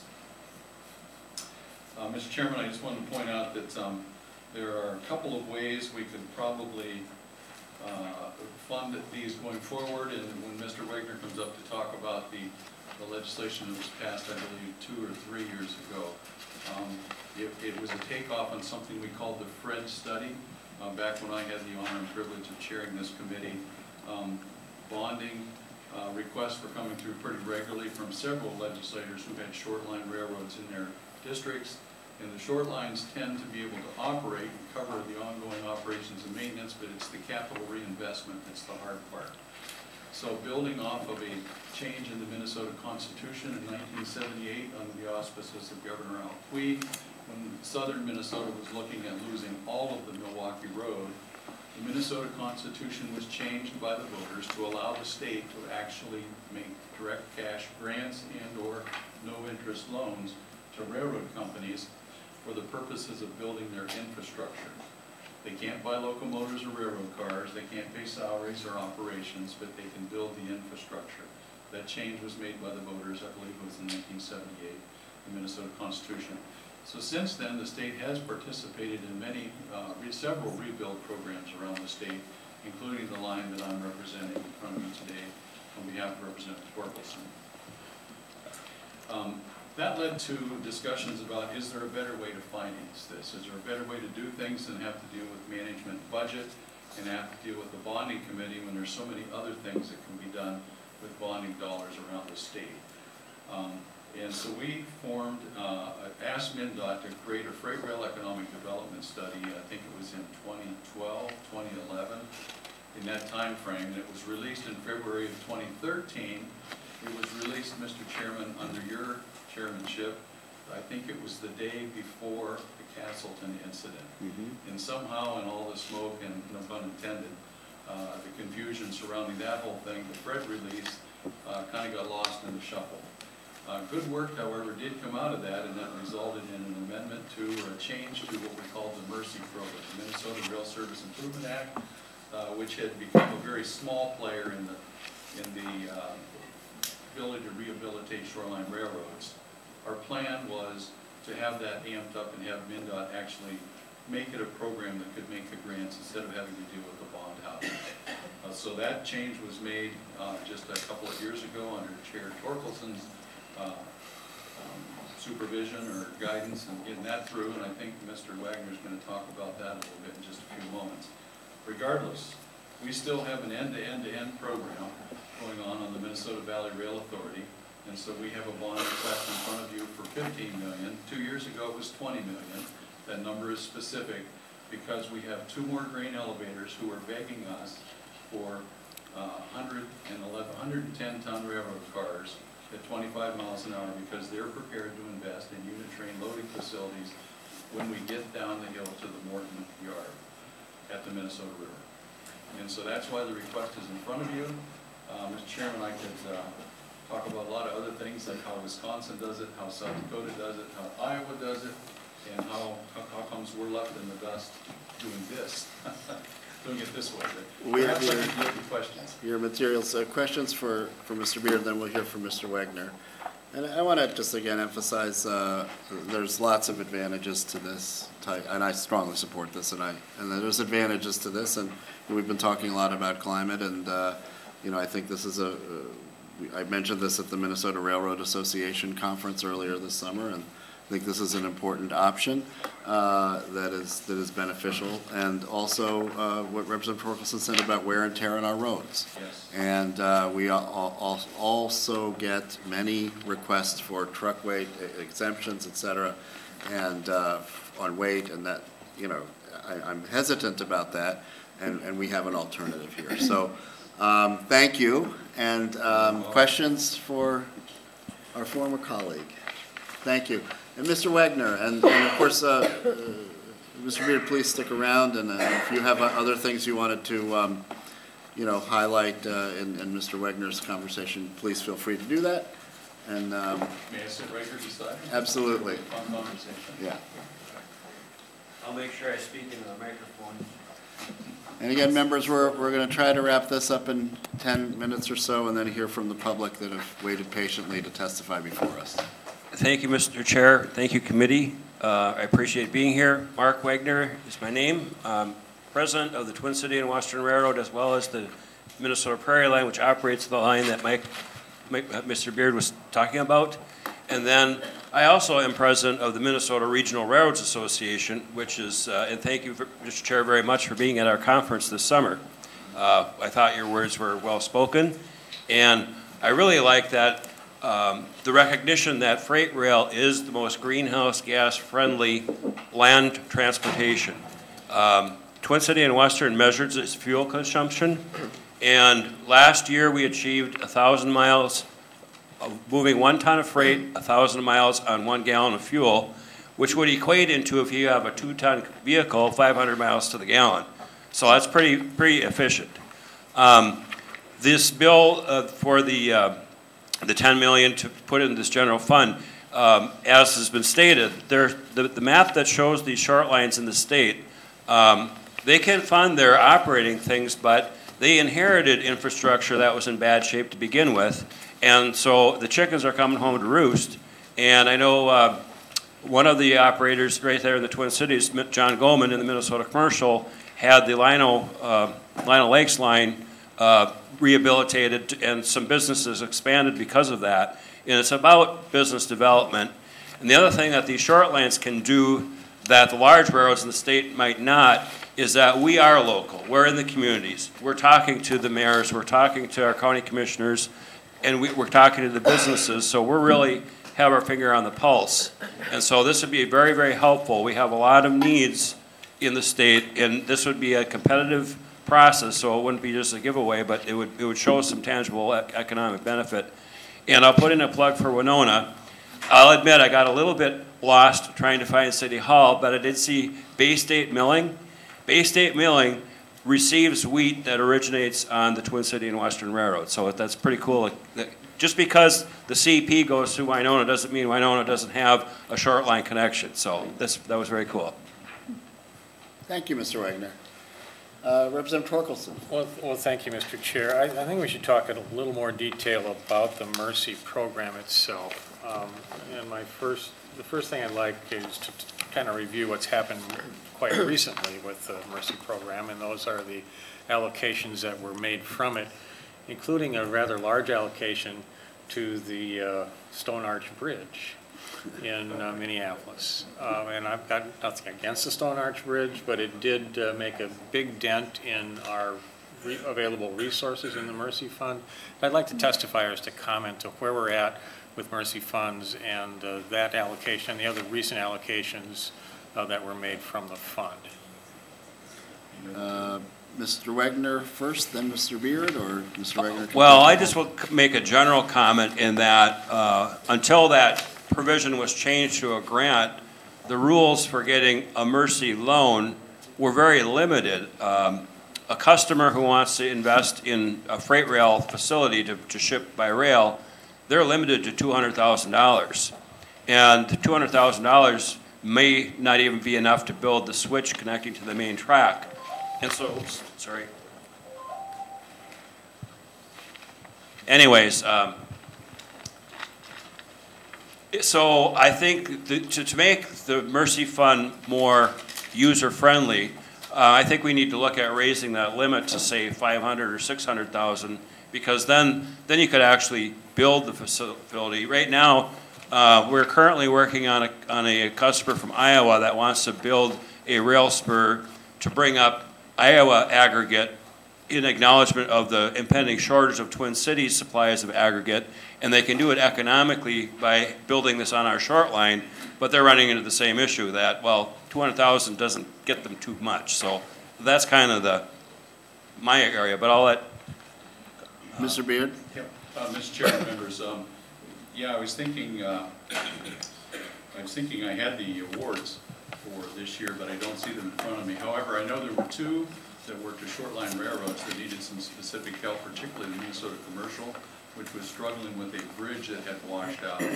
And there was some, some question on the ownership of the bridge. It appeared that it was a state facility, and they were saying, no, no, it's your facility. Anyhow, the long story short is, the bridge is being repaired, and it protects uh, a job base of almost 3,000 jobs up in the New Brighton area. That was under Rep- uh, Representative Bernardy's district, I believe. Uh, Those jobs were in jeopardy because of, uh, the the rail service was going to be terminated because the bridge was going to be condemned. When we put this together, um, here's kind of what we ran into. Um, There were some issues with bonding that gets some, some bond attorneys involved. You know, they get paid by the word and by finding trouble, that's. And nothing against them, they protect our creditworthiness and all that. But having small, uh, smaller projects, like particularly short line railroads, county rail authorities and things like that, have to deal with four hundred dollar an hour lawyers, um, and take sometimes up to a year and a half to get an approval on a funding package, when you need to rebuild a switch tomorrow, uh, made it very difficult. And so some of my friends at MnDOT suggested that we have MnDOT create a, a fund or a mechanism that could be funded even by bond funds that they could administer and we would, it, it brings some integrity to the process that makes the bond houses comfortable. And that's a very big deal when it comes to shortening timelines and lowering the cost of applying for the money. That is one of the biggest benefits of the new Mercy account. And I applaud uh, you guys for, for passing that here a couple years ago. Um, The railroads aren't that sophisticated that we can, we can do this every time we need another capital improvement fund. removing the restrictions that Mr. Wagner just talked about, there really, there was about a two hundred and fifty thousand dollar cap. That doesn't buy a mainline switch on the Burlington Northern. They're about six hundred thousand now, I'm told. You might get it for two fifty on March Railroad, but not at the BN. So lifting those restrictions and having them be grants to rail authorities that actually are trying to rebuild their infrastructure, or loans to companies that are extending a siding for the purposes of manufacturing more stuff, uh, that has just been a marvelous invention, and it, and it gets us out of the weeds and, uh, with the bond counsel, and it shortens up the application time and the awards, so we can actually make gravel and rail fly faster, I guess. Thank you. Are there any uh, additional questions for either testifier? Do you have any final Uh, Just comments? a couple closing comments, if I may. There are 17 short line railroads in this state. You wouldn't know that, but every one of them was created by basically entrepreneurial endeavor. There are three of them that are owned by rail authorities. When Wisconsin, Iowa, and Minnesota faced the uh, rail abandonment crisis after the Staggers Rail Act in 1980, uh, they immediately intervened directly and purchased most of the road beds themselves, made some grants to help rehabilitate bridges and road beds, and then hired operators like Twin City Western to operate their lines. In Minnesota, we took a different tack. We pretty much said, well, good luck to you there, we hope you make it. Twin City and Western was one that did. They bought their own railroad. Uh, the Minnesota Prairie Line, the one I represent, the only way they could do it was to take another route that the legislature created in 1982, I think, and that was the regional rail authorities. County rail authorities, regional rail authorities. There are three regionals that own freight railroads. The one in Rock Nobles County, ours, and then of course St. Louis County. They actually have lines that actually have freight running on them. Hennepin County too, if you want to count the corridor that Twin City Western runs in. A little bit about what happens. One car in every five for the class ones originates or terminates on a short line railroad. So we play a significant role in the class ones recognize how important we are in the total transportation mix. Thank you for your attention today. I hope to see you back in session in St. Paul when you can actually vote on this, and uh, we'll, we'll talk some more. Thank you so much. And just uh, uh, to that, uh, we, all four of these bills are bonding bills, and uh, this is, they will be uh, uh, considered in our, our larger capital investment bill that will be a focus of the session. Mr. Wagner, any last comments? Well, first and foremost, thank you so much for, for having us here. We really appreciate it. And then, um, I would say that Nobles Rock Railroad uh, changed hands about two years ago. And the, the new operator on it is very proactive, so I suspect you will be hearing from them. Um, they've, they've been very active. Straddle state lines, goes from Minnesota to South Dakota. And they've been very active in South Dakota, and don't be surprised if they visit you next spring, so. Which is a good story, because they too are going after trying to back Luverne and the industries down there, so I think it's a very good thing. Thank you. I want to correct myself. Uh, The second bill that we heard from Representative Torkelson's the general fund. That's not a bonding bill, so uh, we'll have to examine that in the context of if we have some supplemental money to appropriate. So thank you, and uh, appreciate uh, your, your presence here and traveling to Winona. Um, Members, we have uh, several uh, citizens of Winona uh, in this region that wanted to just testify on various items that, uh, on their minds. And so um, I will call on them, and uh, because our, our time is short, I'd ask uh, uh, the citizens to keep it to, to two or three minutes of testimony. Um, And I have names here, I'll just call them. And Mr. Qualley, I've not forgotten about you, and we will, we'll call on you after our, uh, our local citizens have had a chance to testify. So Emily Falk, is Emily here? Ah, waiting very patiently in the front row. Thank you very much uh, for coming. Please state your name for the record. My name is Professor Emily Falk. I teach at Winona State University, and I'm the co-leader of the Winona Climate Action Network. We have several of our members here, and uh, thank you so much, Chair Hornstein and representatives, for hearing us speak on the issues of climate and transportation. And uh, our organization has about 200 members on our email list, and we are actively doing um, community events in relation to both clean energy and electric vehicles. And we understand that this is a holistic approach, that when you charge your electric vehicle, of course you want it to be charging with clean energy. And so uh, we've had solar power uh, panel discussions. Last night at our meeting, we had several representatives uh, speaking about solar energy, and we understand that part of the mix. We also um, have a great interest in being able to select from a wide variety of hybrid and electric vehicles, and we really appreciate Governor Walz's taking this action to support um, the clean air standards in transportation, because in Winona right now at the dealerships, there's currently zero electric vehicles in, on the lots. They do not carry them, and with this new uh, standard, they will um, be compelled to bring more plug-in electric vehicles, plug-in hybrids to the lot so that our consumers can have those as choices. Um, and uh, I, I commute by bicycle, actually, and um, I would appreciate if more drivers were driving electric vehicles because then I would not have to breathe in toxic fumes from their tailpipes when I am riding my bicycle around town. So uh, it is directly related to our health, our clean air, as well as our clean water concerns. And um, today I'm wearing this red dress. I consider myself a water protector. And um, uh, this is the, October is the month for reducing gender-based violence. And this red dress signifies the missing and murdered indigenous women. So um, all the work that we do to reduce our use of fossil fuels and um, oil will help benefit um, uh, and be in, in, solidarity with the indigenous peoples who are working to uh, end um, the use of oil pipelines through treaty lands and, and those kinds of, of um, issues as well. I want to um, say that collectively we can do more than individually, and so we want to be at the table when it comes to regional collaboration on EV corridors.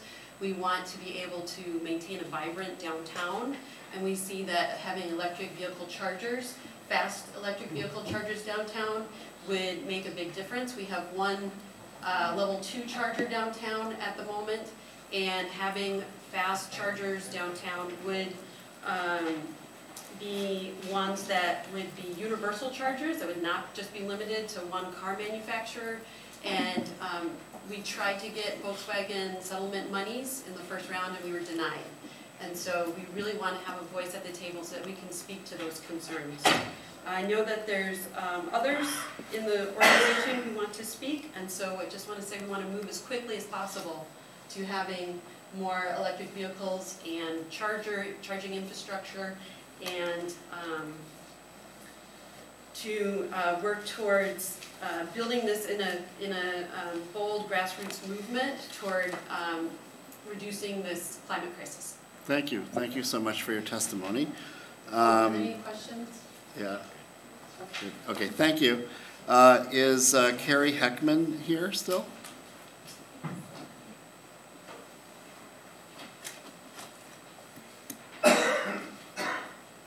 Welcome to the committee.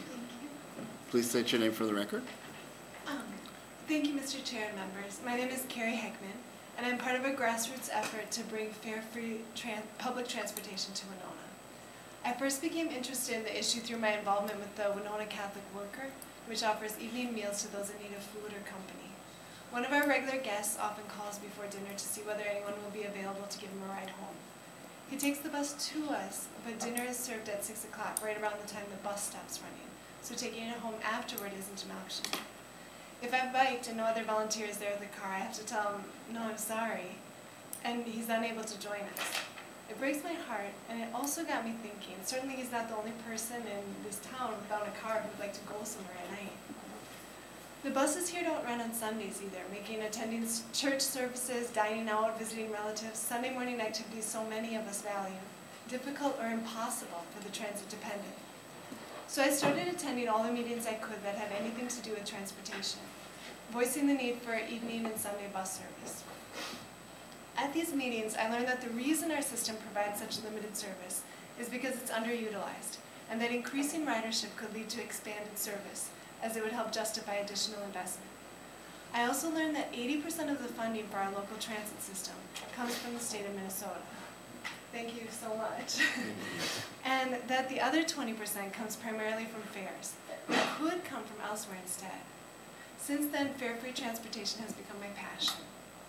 Ridership increases dramatically in fare-free systems. Eliminating fares not only eliminates cost as a barrier to using transit, but also makes transit use more convenient for everyone at every income level. No more fumbling for fares or needing to carry the correct cash amount for every leg of every journey. Communities with fare-free transportation are often the recipients of awards for livability. Seniors on a fixed income are more likely to want to retire in them. And it feels so friendly to board a bus and not be expected to pay a fare. You just feel like you're winning every time. The bus fare in Winona is only a dollar, which for most people is quite reasonable. But consider for a moment my close neighbor. She's a single mom with a part-time job, and she's transit dependent. She's an excellent mother, so when she needs to run an errand, her three kids generally come along. But if she pays fares for herself and for each of her kids, it's $8 round trip, for there, for back. $8 to go to the grocery store, $8 to go to the library, $8 to pick up a prescription. Public transit can be expensive for the user, but it's even more expensive for the taxpayer. It makes much more fiscal sense once you have a system in place and have bought and are maintaining the buses to fill them up. Because as ridership skyrockets, per person costs plummet. Our hope is to raise $347,000, 20% of Winona's tra Winona Transit's general operating costs for 2020 and 2021, the portion not covered by state funds, for a two-year pilot project. We already have the interest and support of Winona State University and are seeking funding partners among Winona businesses and philanthropists. A friend with experience in state government told me, if you want this project taken seriously, you have to get elected officials behind it. So that's why I'm here today. Fare-free Transit has not worked everywhere it's been tried. It's been wonderfully successful though. In small urban systems in college towns like Winona. I don't know enough about how state government works to even know what to ask you for. But maybe you know of a way to help make fare-free transit in Winona a reality. Because if it happens in Winona, maybe it can also happen in Mankato and Moorhead and Marshall. And maybe it will catch on in other systems around the country and around the world. Think of the global impact on the environment and the local impact on parking and traffic if we could dramatically decrease the number of vehicles on our roads. Imagine the possibilities for the unemployed if lack of transportation ceased to be an obstacle to employment. Envision a future when the elderly no longer need to worry that giving up driving would mean social isolation. And what if you helped to make it all happen? I think you may have received a handout from John Howe. Um, like this. Um, about the Winona Riders Coalition. It was adapted from a website our group very recently created at winonariders.org. It's a great resource if you'd like to learn more about this project. You can also use the site to get in touch with me.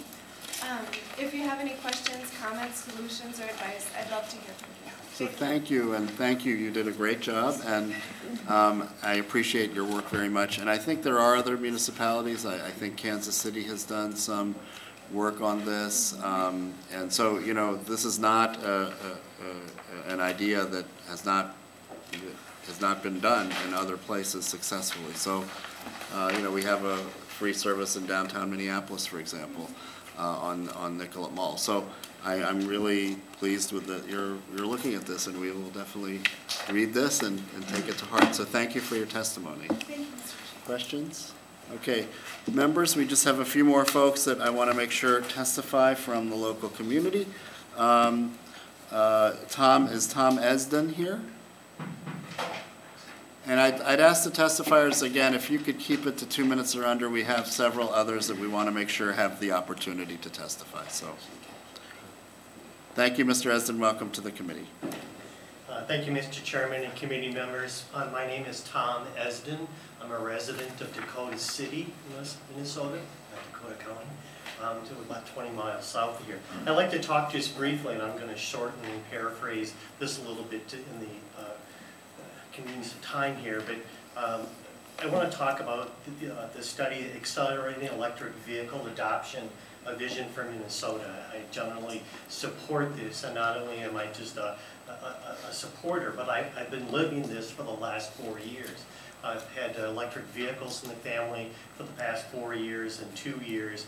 We've been totally electric, so we've got some experience and driven around the block uh, several times. Um, one of the first things I wanted to talk about was one of the first strategies that this uh, report talks about is accelerating sales and use. And, and while I'm generally not in favor of government incentives, I'm afraid that this might be an example that could sorely use one. And let me give you a personal example. Um, uh, within the last 30 days, uh, you know, went around to the dealerships and you've heard that, you know, there aren't electric cars available. But I went to the local dealerships and say, hey, can I, can I get an electric car? Can talk about it? And, and basically, I was discouraged from looking at electric cars. The dealership told me, you don't want an electric car, they're a pain to drive. They, they don't, they don't ride well, they don't drive well, you know, and, and they were, they, you know, trying to get me into a gasoline car. And I said, well, did you take a look at the electric car I'm driving? You know, I wanted to get another one?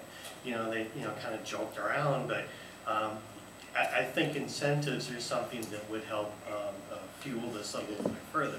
I, I also applaud the governor's announcement of the Minnesota Clean Car Standards as another step in that direction, again, to force, uh, manufacturers and dealerships to, uh, provide electric vehicles. Um, and like it was mentioned earlier, on the website, you can't even search for an electric car on some of the local dealers' websites, even though they sell them, their manufacturer offers them. If you go to their website, if you search for it, you can't find those cars on their website. So again, offering consumers some type of incentive, I think would be a real advantage. This isn't just a problem in Winona, it's a problem throughout the state of Minnesota and the country.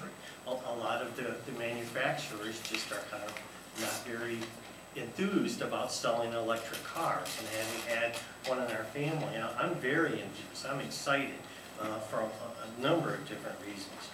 Um, One of the second uh, ideas talked about in this uh, document is building out the charging infrastructure.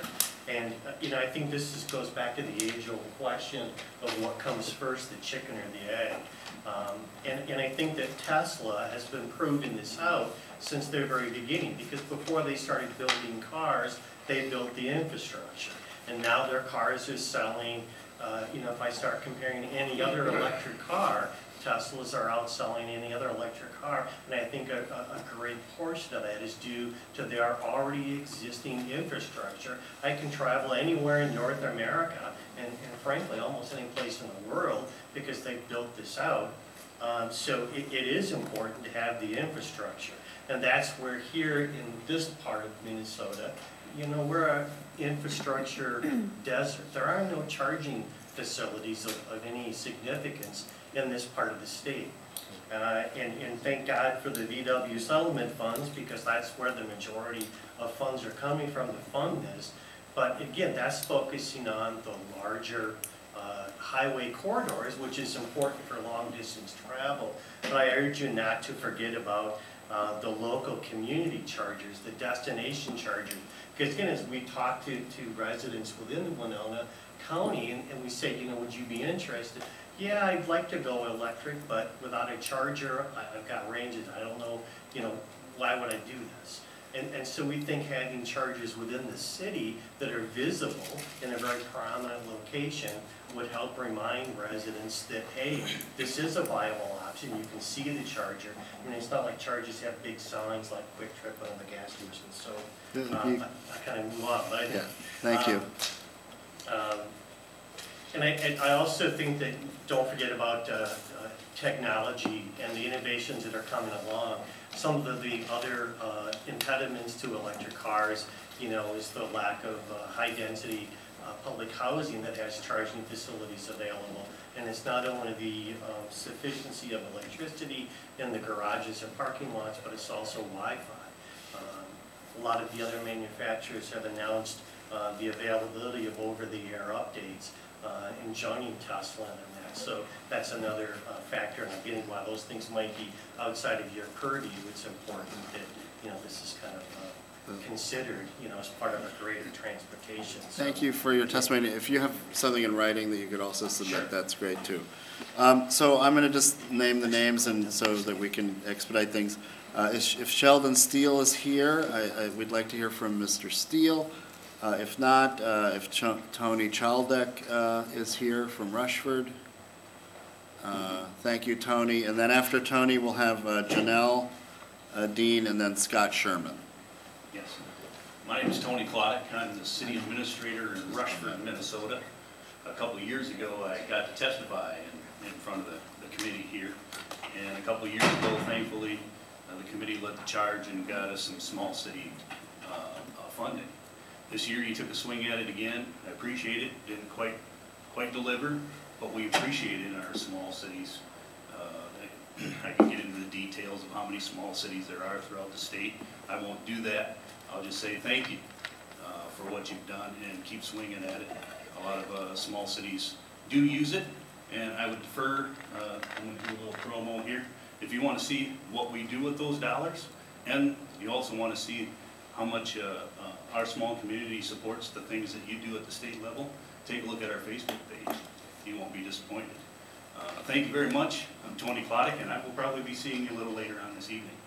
Thanks so much, Tony. Um, Is Janelle here? And then uh, Scott Sherman still here also? Okay, you're next. Welcome to the committee. Thanks for your patience and thanks for being here. Thanks for your patience too. Um, I'm Janelle Dean, I live in Minnesota City, it's rural. And um, I don't really like to drive, so extra trains to the cities would be awesome. Um, So I'm in favor of that. Um, But I'm also, um, just want to let you know, um, I deeply care about the environment. And I'm here to talk about um, clean transportation. And I added another sentence. Um, The MPCA states in the air we breathe and greenhouse gas emissions report, so that's where that data comes from, from the MPCA, um, that we failed to reduce our greenhouse gas emissions to levels set by the Minnesota 2007 Next Generation Energy Act. Because transportation causes over 50% of our total greenhouse gases, the electrification of our transportation system needs to happen as quickly as possible as is being done in other countries such as France and Norway. To meet goals set forth in the Next Generation Energy Act, we need more education and support for electric vehicles. This especially includes supportive infrastructure which allows EVs to easily and quickly charge throughout Minnesota. The southeast Minnesota Highway 61 corridor is particularly lacking in infrastructure. We need more high-speed charging stations along the 61 corridor north to the cities. I'd like to point out that most EVs are charged at home, but when traveling long distances, EV owners seek out high-speed chargers. The nearest high-speed charger is currently located in Red Wing, Minnesota, and I've learned that people drive EVs choose to bypass scenic Highway 61 because there are minimal ideal charging options available. I'd also like to let you know that EV drivers want to charge while they dine or shop. So locating stations near local businesses in places like downtowns welcome visitors and helps to increase tourism and income for local businesses. And I think makes life like way better than stopping at Walmart or Hy-Vee every time you need a charge. To reduce greenhouse gas emissions, we also need to help provide affordable EVs to Minnesotans. I'm so thankful for the Clean Car Standards initiative set forth by Governor Walz. This will help quite a bit in moving us forward. I'd also like to say that I brought a petition that was signed by over 200 individuals, primarily residing in the Winona area, that are- that are in favor of planning for a Winona Transit EV bus and installing a public charging station in downtown Winona. It was not difficult at all to acquire signatures. Some people pulled the clipboard out of my hand, um, and I'd say like maybe five out of six people, if not more, um, wanted to sign the, the petition. And I'd like to say too, that education part is really important, because the other people that weren't sure didn't know what an EV was, so I got to educate them on what EVs were. So this petition was submitted um, to the city in July, but I regret to inform you that the city administration does not believe the city should be in the business of providing energy to vehicles. City administration also feels the cost of an EV minibus such as the city of Winona would need is cost prohibitive. I would like to ask representatives here today to help provide more financial support to Winona for EV infrastructure and to help Winona transition to being a cleaner city. Thank you so much. Yeah, I have a petition. Yeah, I would, we would very much like a copy of the petition, and thank you for your advocacy.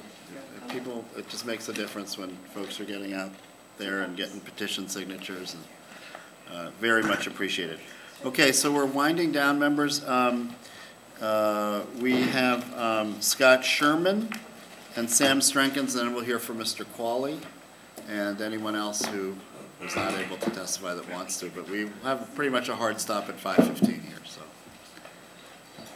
I'm gonna stand, I'm gonna talk loud. Good. My name's Scott Sherman. I'm a cyclist. This represents my family. Me, my wife, my nineteen-month-old son. I have another one coming in December.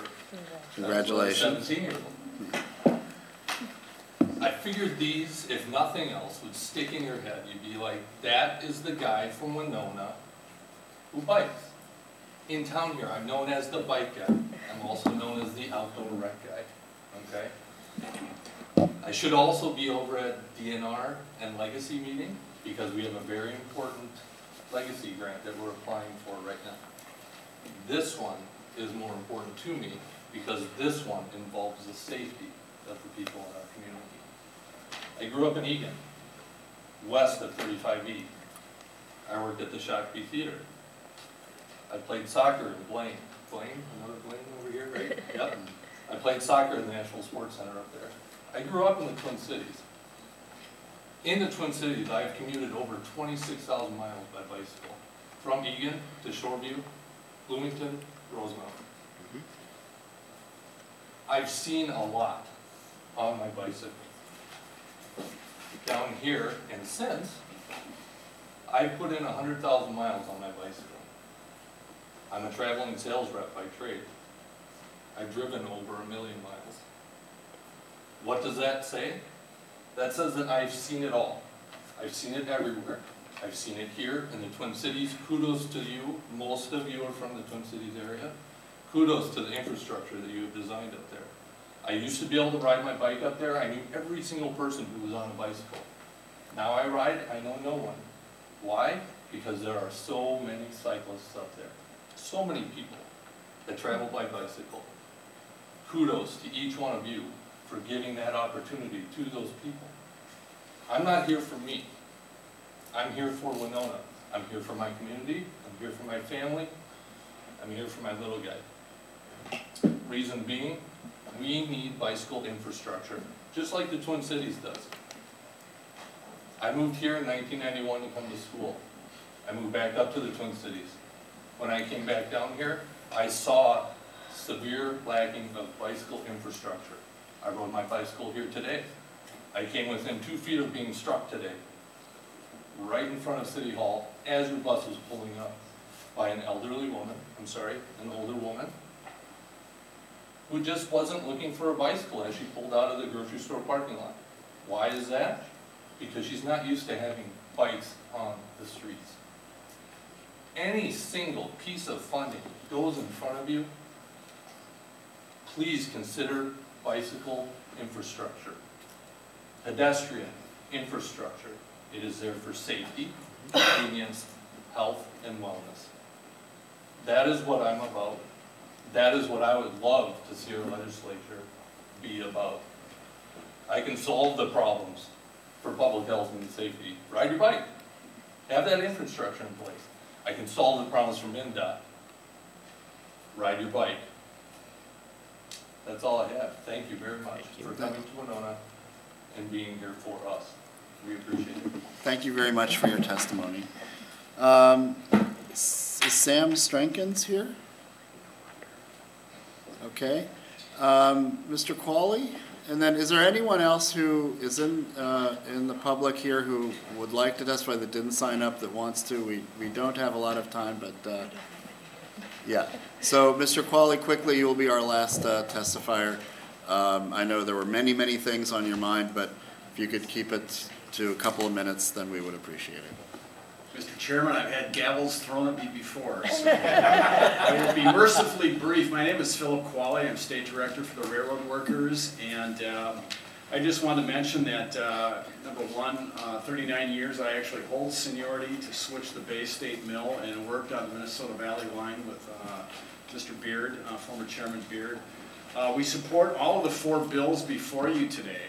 However, we would like to mention respectfully that with House File 1930, uh, we do believe there should be some element of disclosure, of ownership disclosure. Let me be very clear, we not only support the bill, we think the funding should be much greater. Um, We have absolutely no issue with our fine corporate citizens, the Minnesota Valley Regional Authority or the Twin City and Western. However, you should be aware that uh, if- with the short line conglomerations across the United States, we simply believe good government and ownership disclosure uh, is reasonable, uh, and frankly, uh, more funding would be appropriate for the short lines uh, in Minnesota. Um, I have, uh, we have, for the 1,200 railroad workers in Minnesota, we have delivered a handout to you. This essentially, and for the public, this essentially encapsulates my comments, um, and I hope you'll take a look. We stand by the polling work that was in the handout, as well as the, uh, we'd like you to see the Minnesota, or Midwest Interstate Passenger Rail Commission, uh, the amount of federal funds that have been sent to Wisconsin, Michigan, and Illinois. And as well, I've put together some excerpts uh, abstracted from the federal uh, state corridors that are being built out across the United States. My closing comment is very simply this. I respect that the state of Minnesota has to be aware of the costs and the many competing needs in our state. But for southeastern Minnesota, of which the Qualley family homestead in Houston County the Caledonia area, these state corridor services are essential to the growth of Minnesota. And while we look at it as being an expense perhaps, it is really an investment with exponential uh, economic return. Business commuters, artists, uh, tourism, connecting families. I Hope you'll take a good look at the two bills, and uh, thank you very much for your comments. Thank you uh, very much, Mr. Qualley. Uh, Before we adjourn, uh, I wanted to see if Representative Torkelson had any final concluding comments. This is our tradition here, and then I'll have a couple of very brief comments, and then we will adjourn. Well, first I want to make it clear that I never threw my gavel at Mr. Qualley. I may have thought about it, but I never did it. Well, I just want to thank. Now that's uh, funny. Thank my uh, testifiers that came to testify to my bills today. I know they drove quite a ways to come, and I appreciate their expert testimony. I'd like to thank the chair for hearing those bills. Uh, uh, Thank you, Rep- Chair Hornstein. I'd like to thank the members who uh, paid attention uh, all afternoon. It's been a long, a long session, uh, but especially thank the community of Winona and the public that, uh, members that have come and shown interest in our work. We, I hope you see that we do work pretty hard at our jobs and try to take in uh, all perspectives as we work through the very difficult work of determining how best to address transportation issues here in the state of Minnesota. Uh, With that, uh, have a great evening, everyone. Yeah, and thank you very much, Representative Torkelson and members and members of the public. Uh, I would just echo what Representative Torkelson said. Uh, You got a little little snapshot of generally what we do, and um, I would, uh, again, to the citizens who testified, um, you know, I think all of the issues that you raised will be addressed in the regular session. Uh, I think for the authors of the, the two bills we heard, those bills will be addressed in, in the regular session as well. And, um, and then to the public sector folks, the city and county people, we'll be putting together a- another transportation bill. And, and I think your, uh, uh, input is very helpful and valuable with that. I For everyone, their, their input is helpful and valuable. So our regular session does start on February 11th, and uh, we'll end, uh, uh, I guess, uh, are you constitutionally required a deadline sometime in uh, the third week of May? What's the date? Usually around May 20th. Yeah, on or around May 20th. And so uh, we uh, welcome all of your involvement and participation uh, up until the session and during the session, uh, everyone has raised really, really important issues that affect all of us. And so, again, with much appreciation for people's uh, testimony and concern, uh, we will continue to, uh, to, to listen and to, and to be in contact as we develop legislation coming up. So uh, with that, members, uh, uh, before we adjourn, uh, for those uh, members of our committee and staff that are interested, we will be boarding the buses one more time. We have a quick boat tour to look at some of the bridge infrastructure from a different perspective. And so that will just be about a half hour, but uh, the bus will take us there and then take us back to where we need to be at 6 o'clock today. So uh, with that, we are adjourned. Whoa, we got into that one.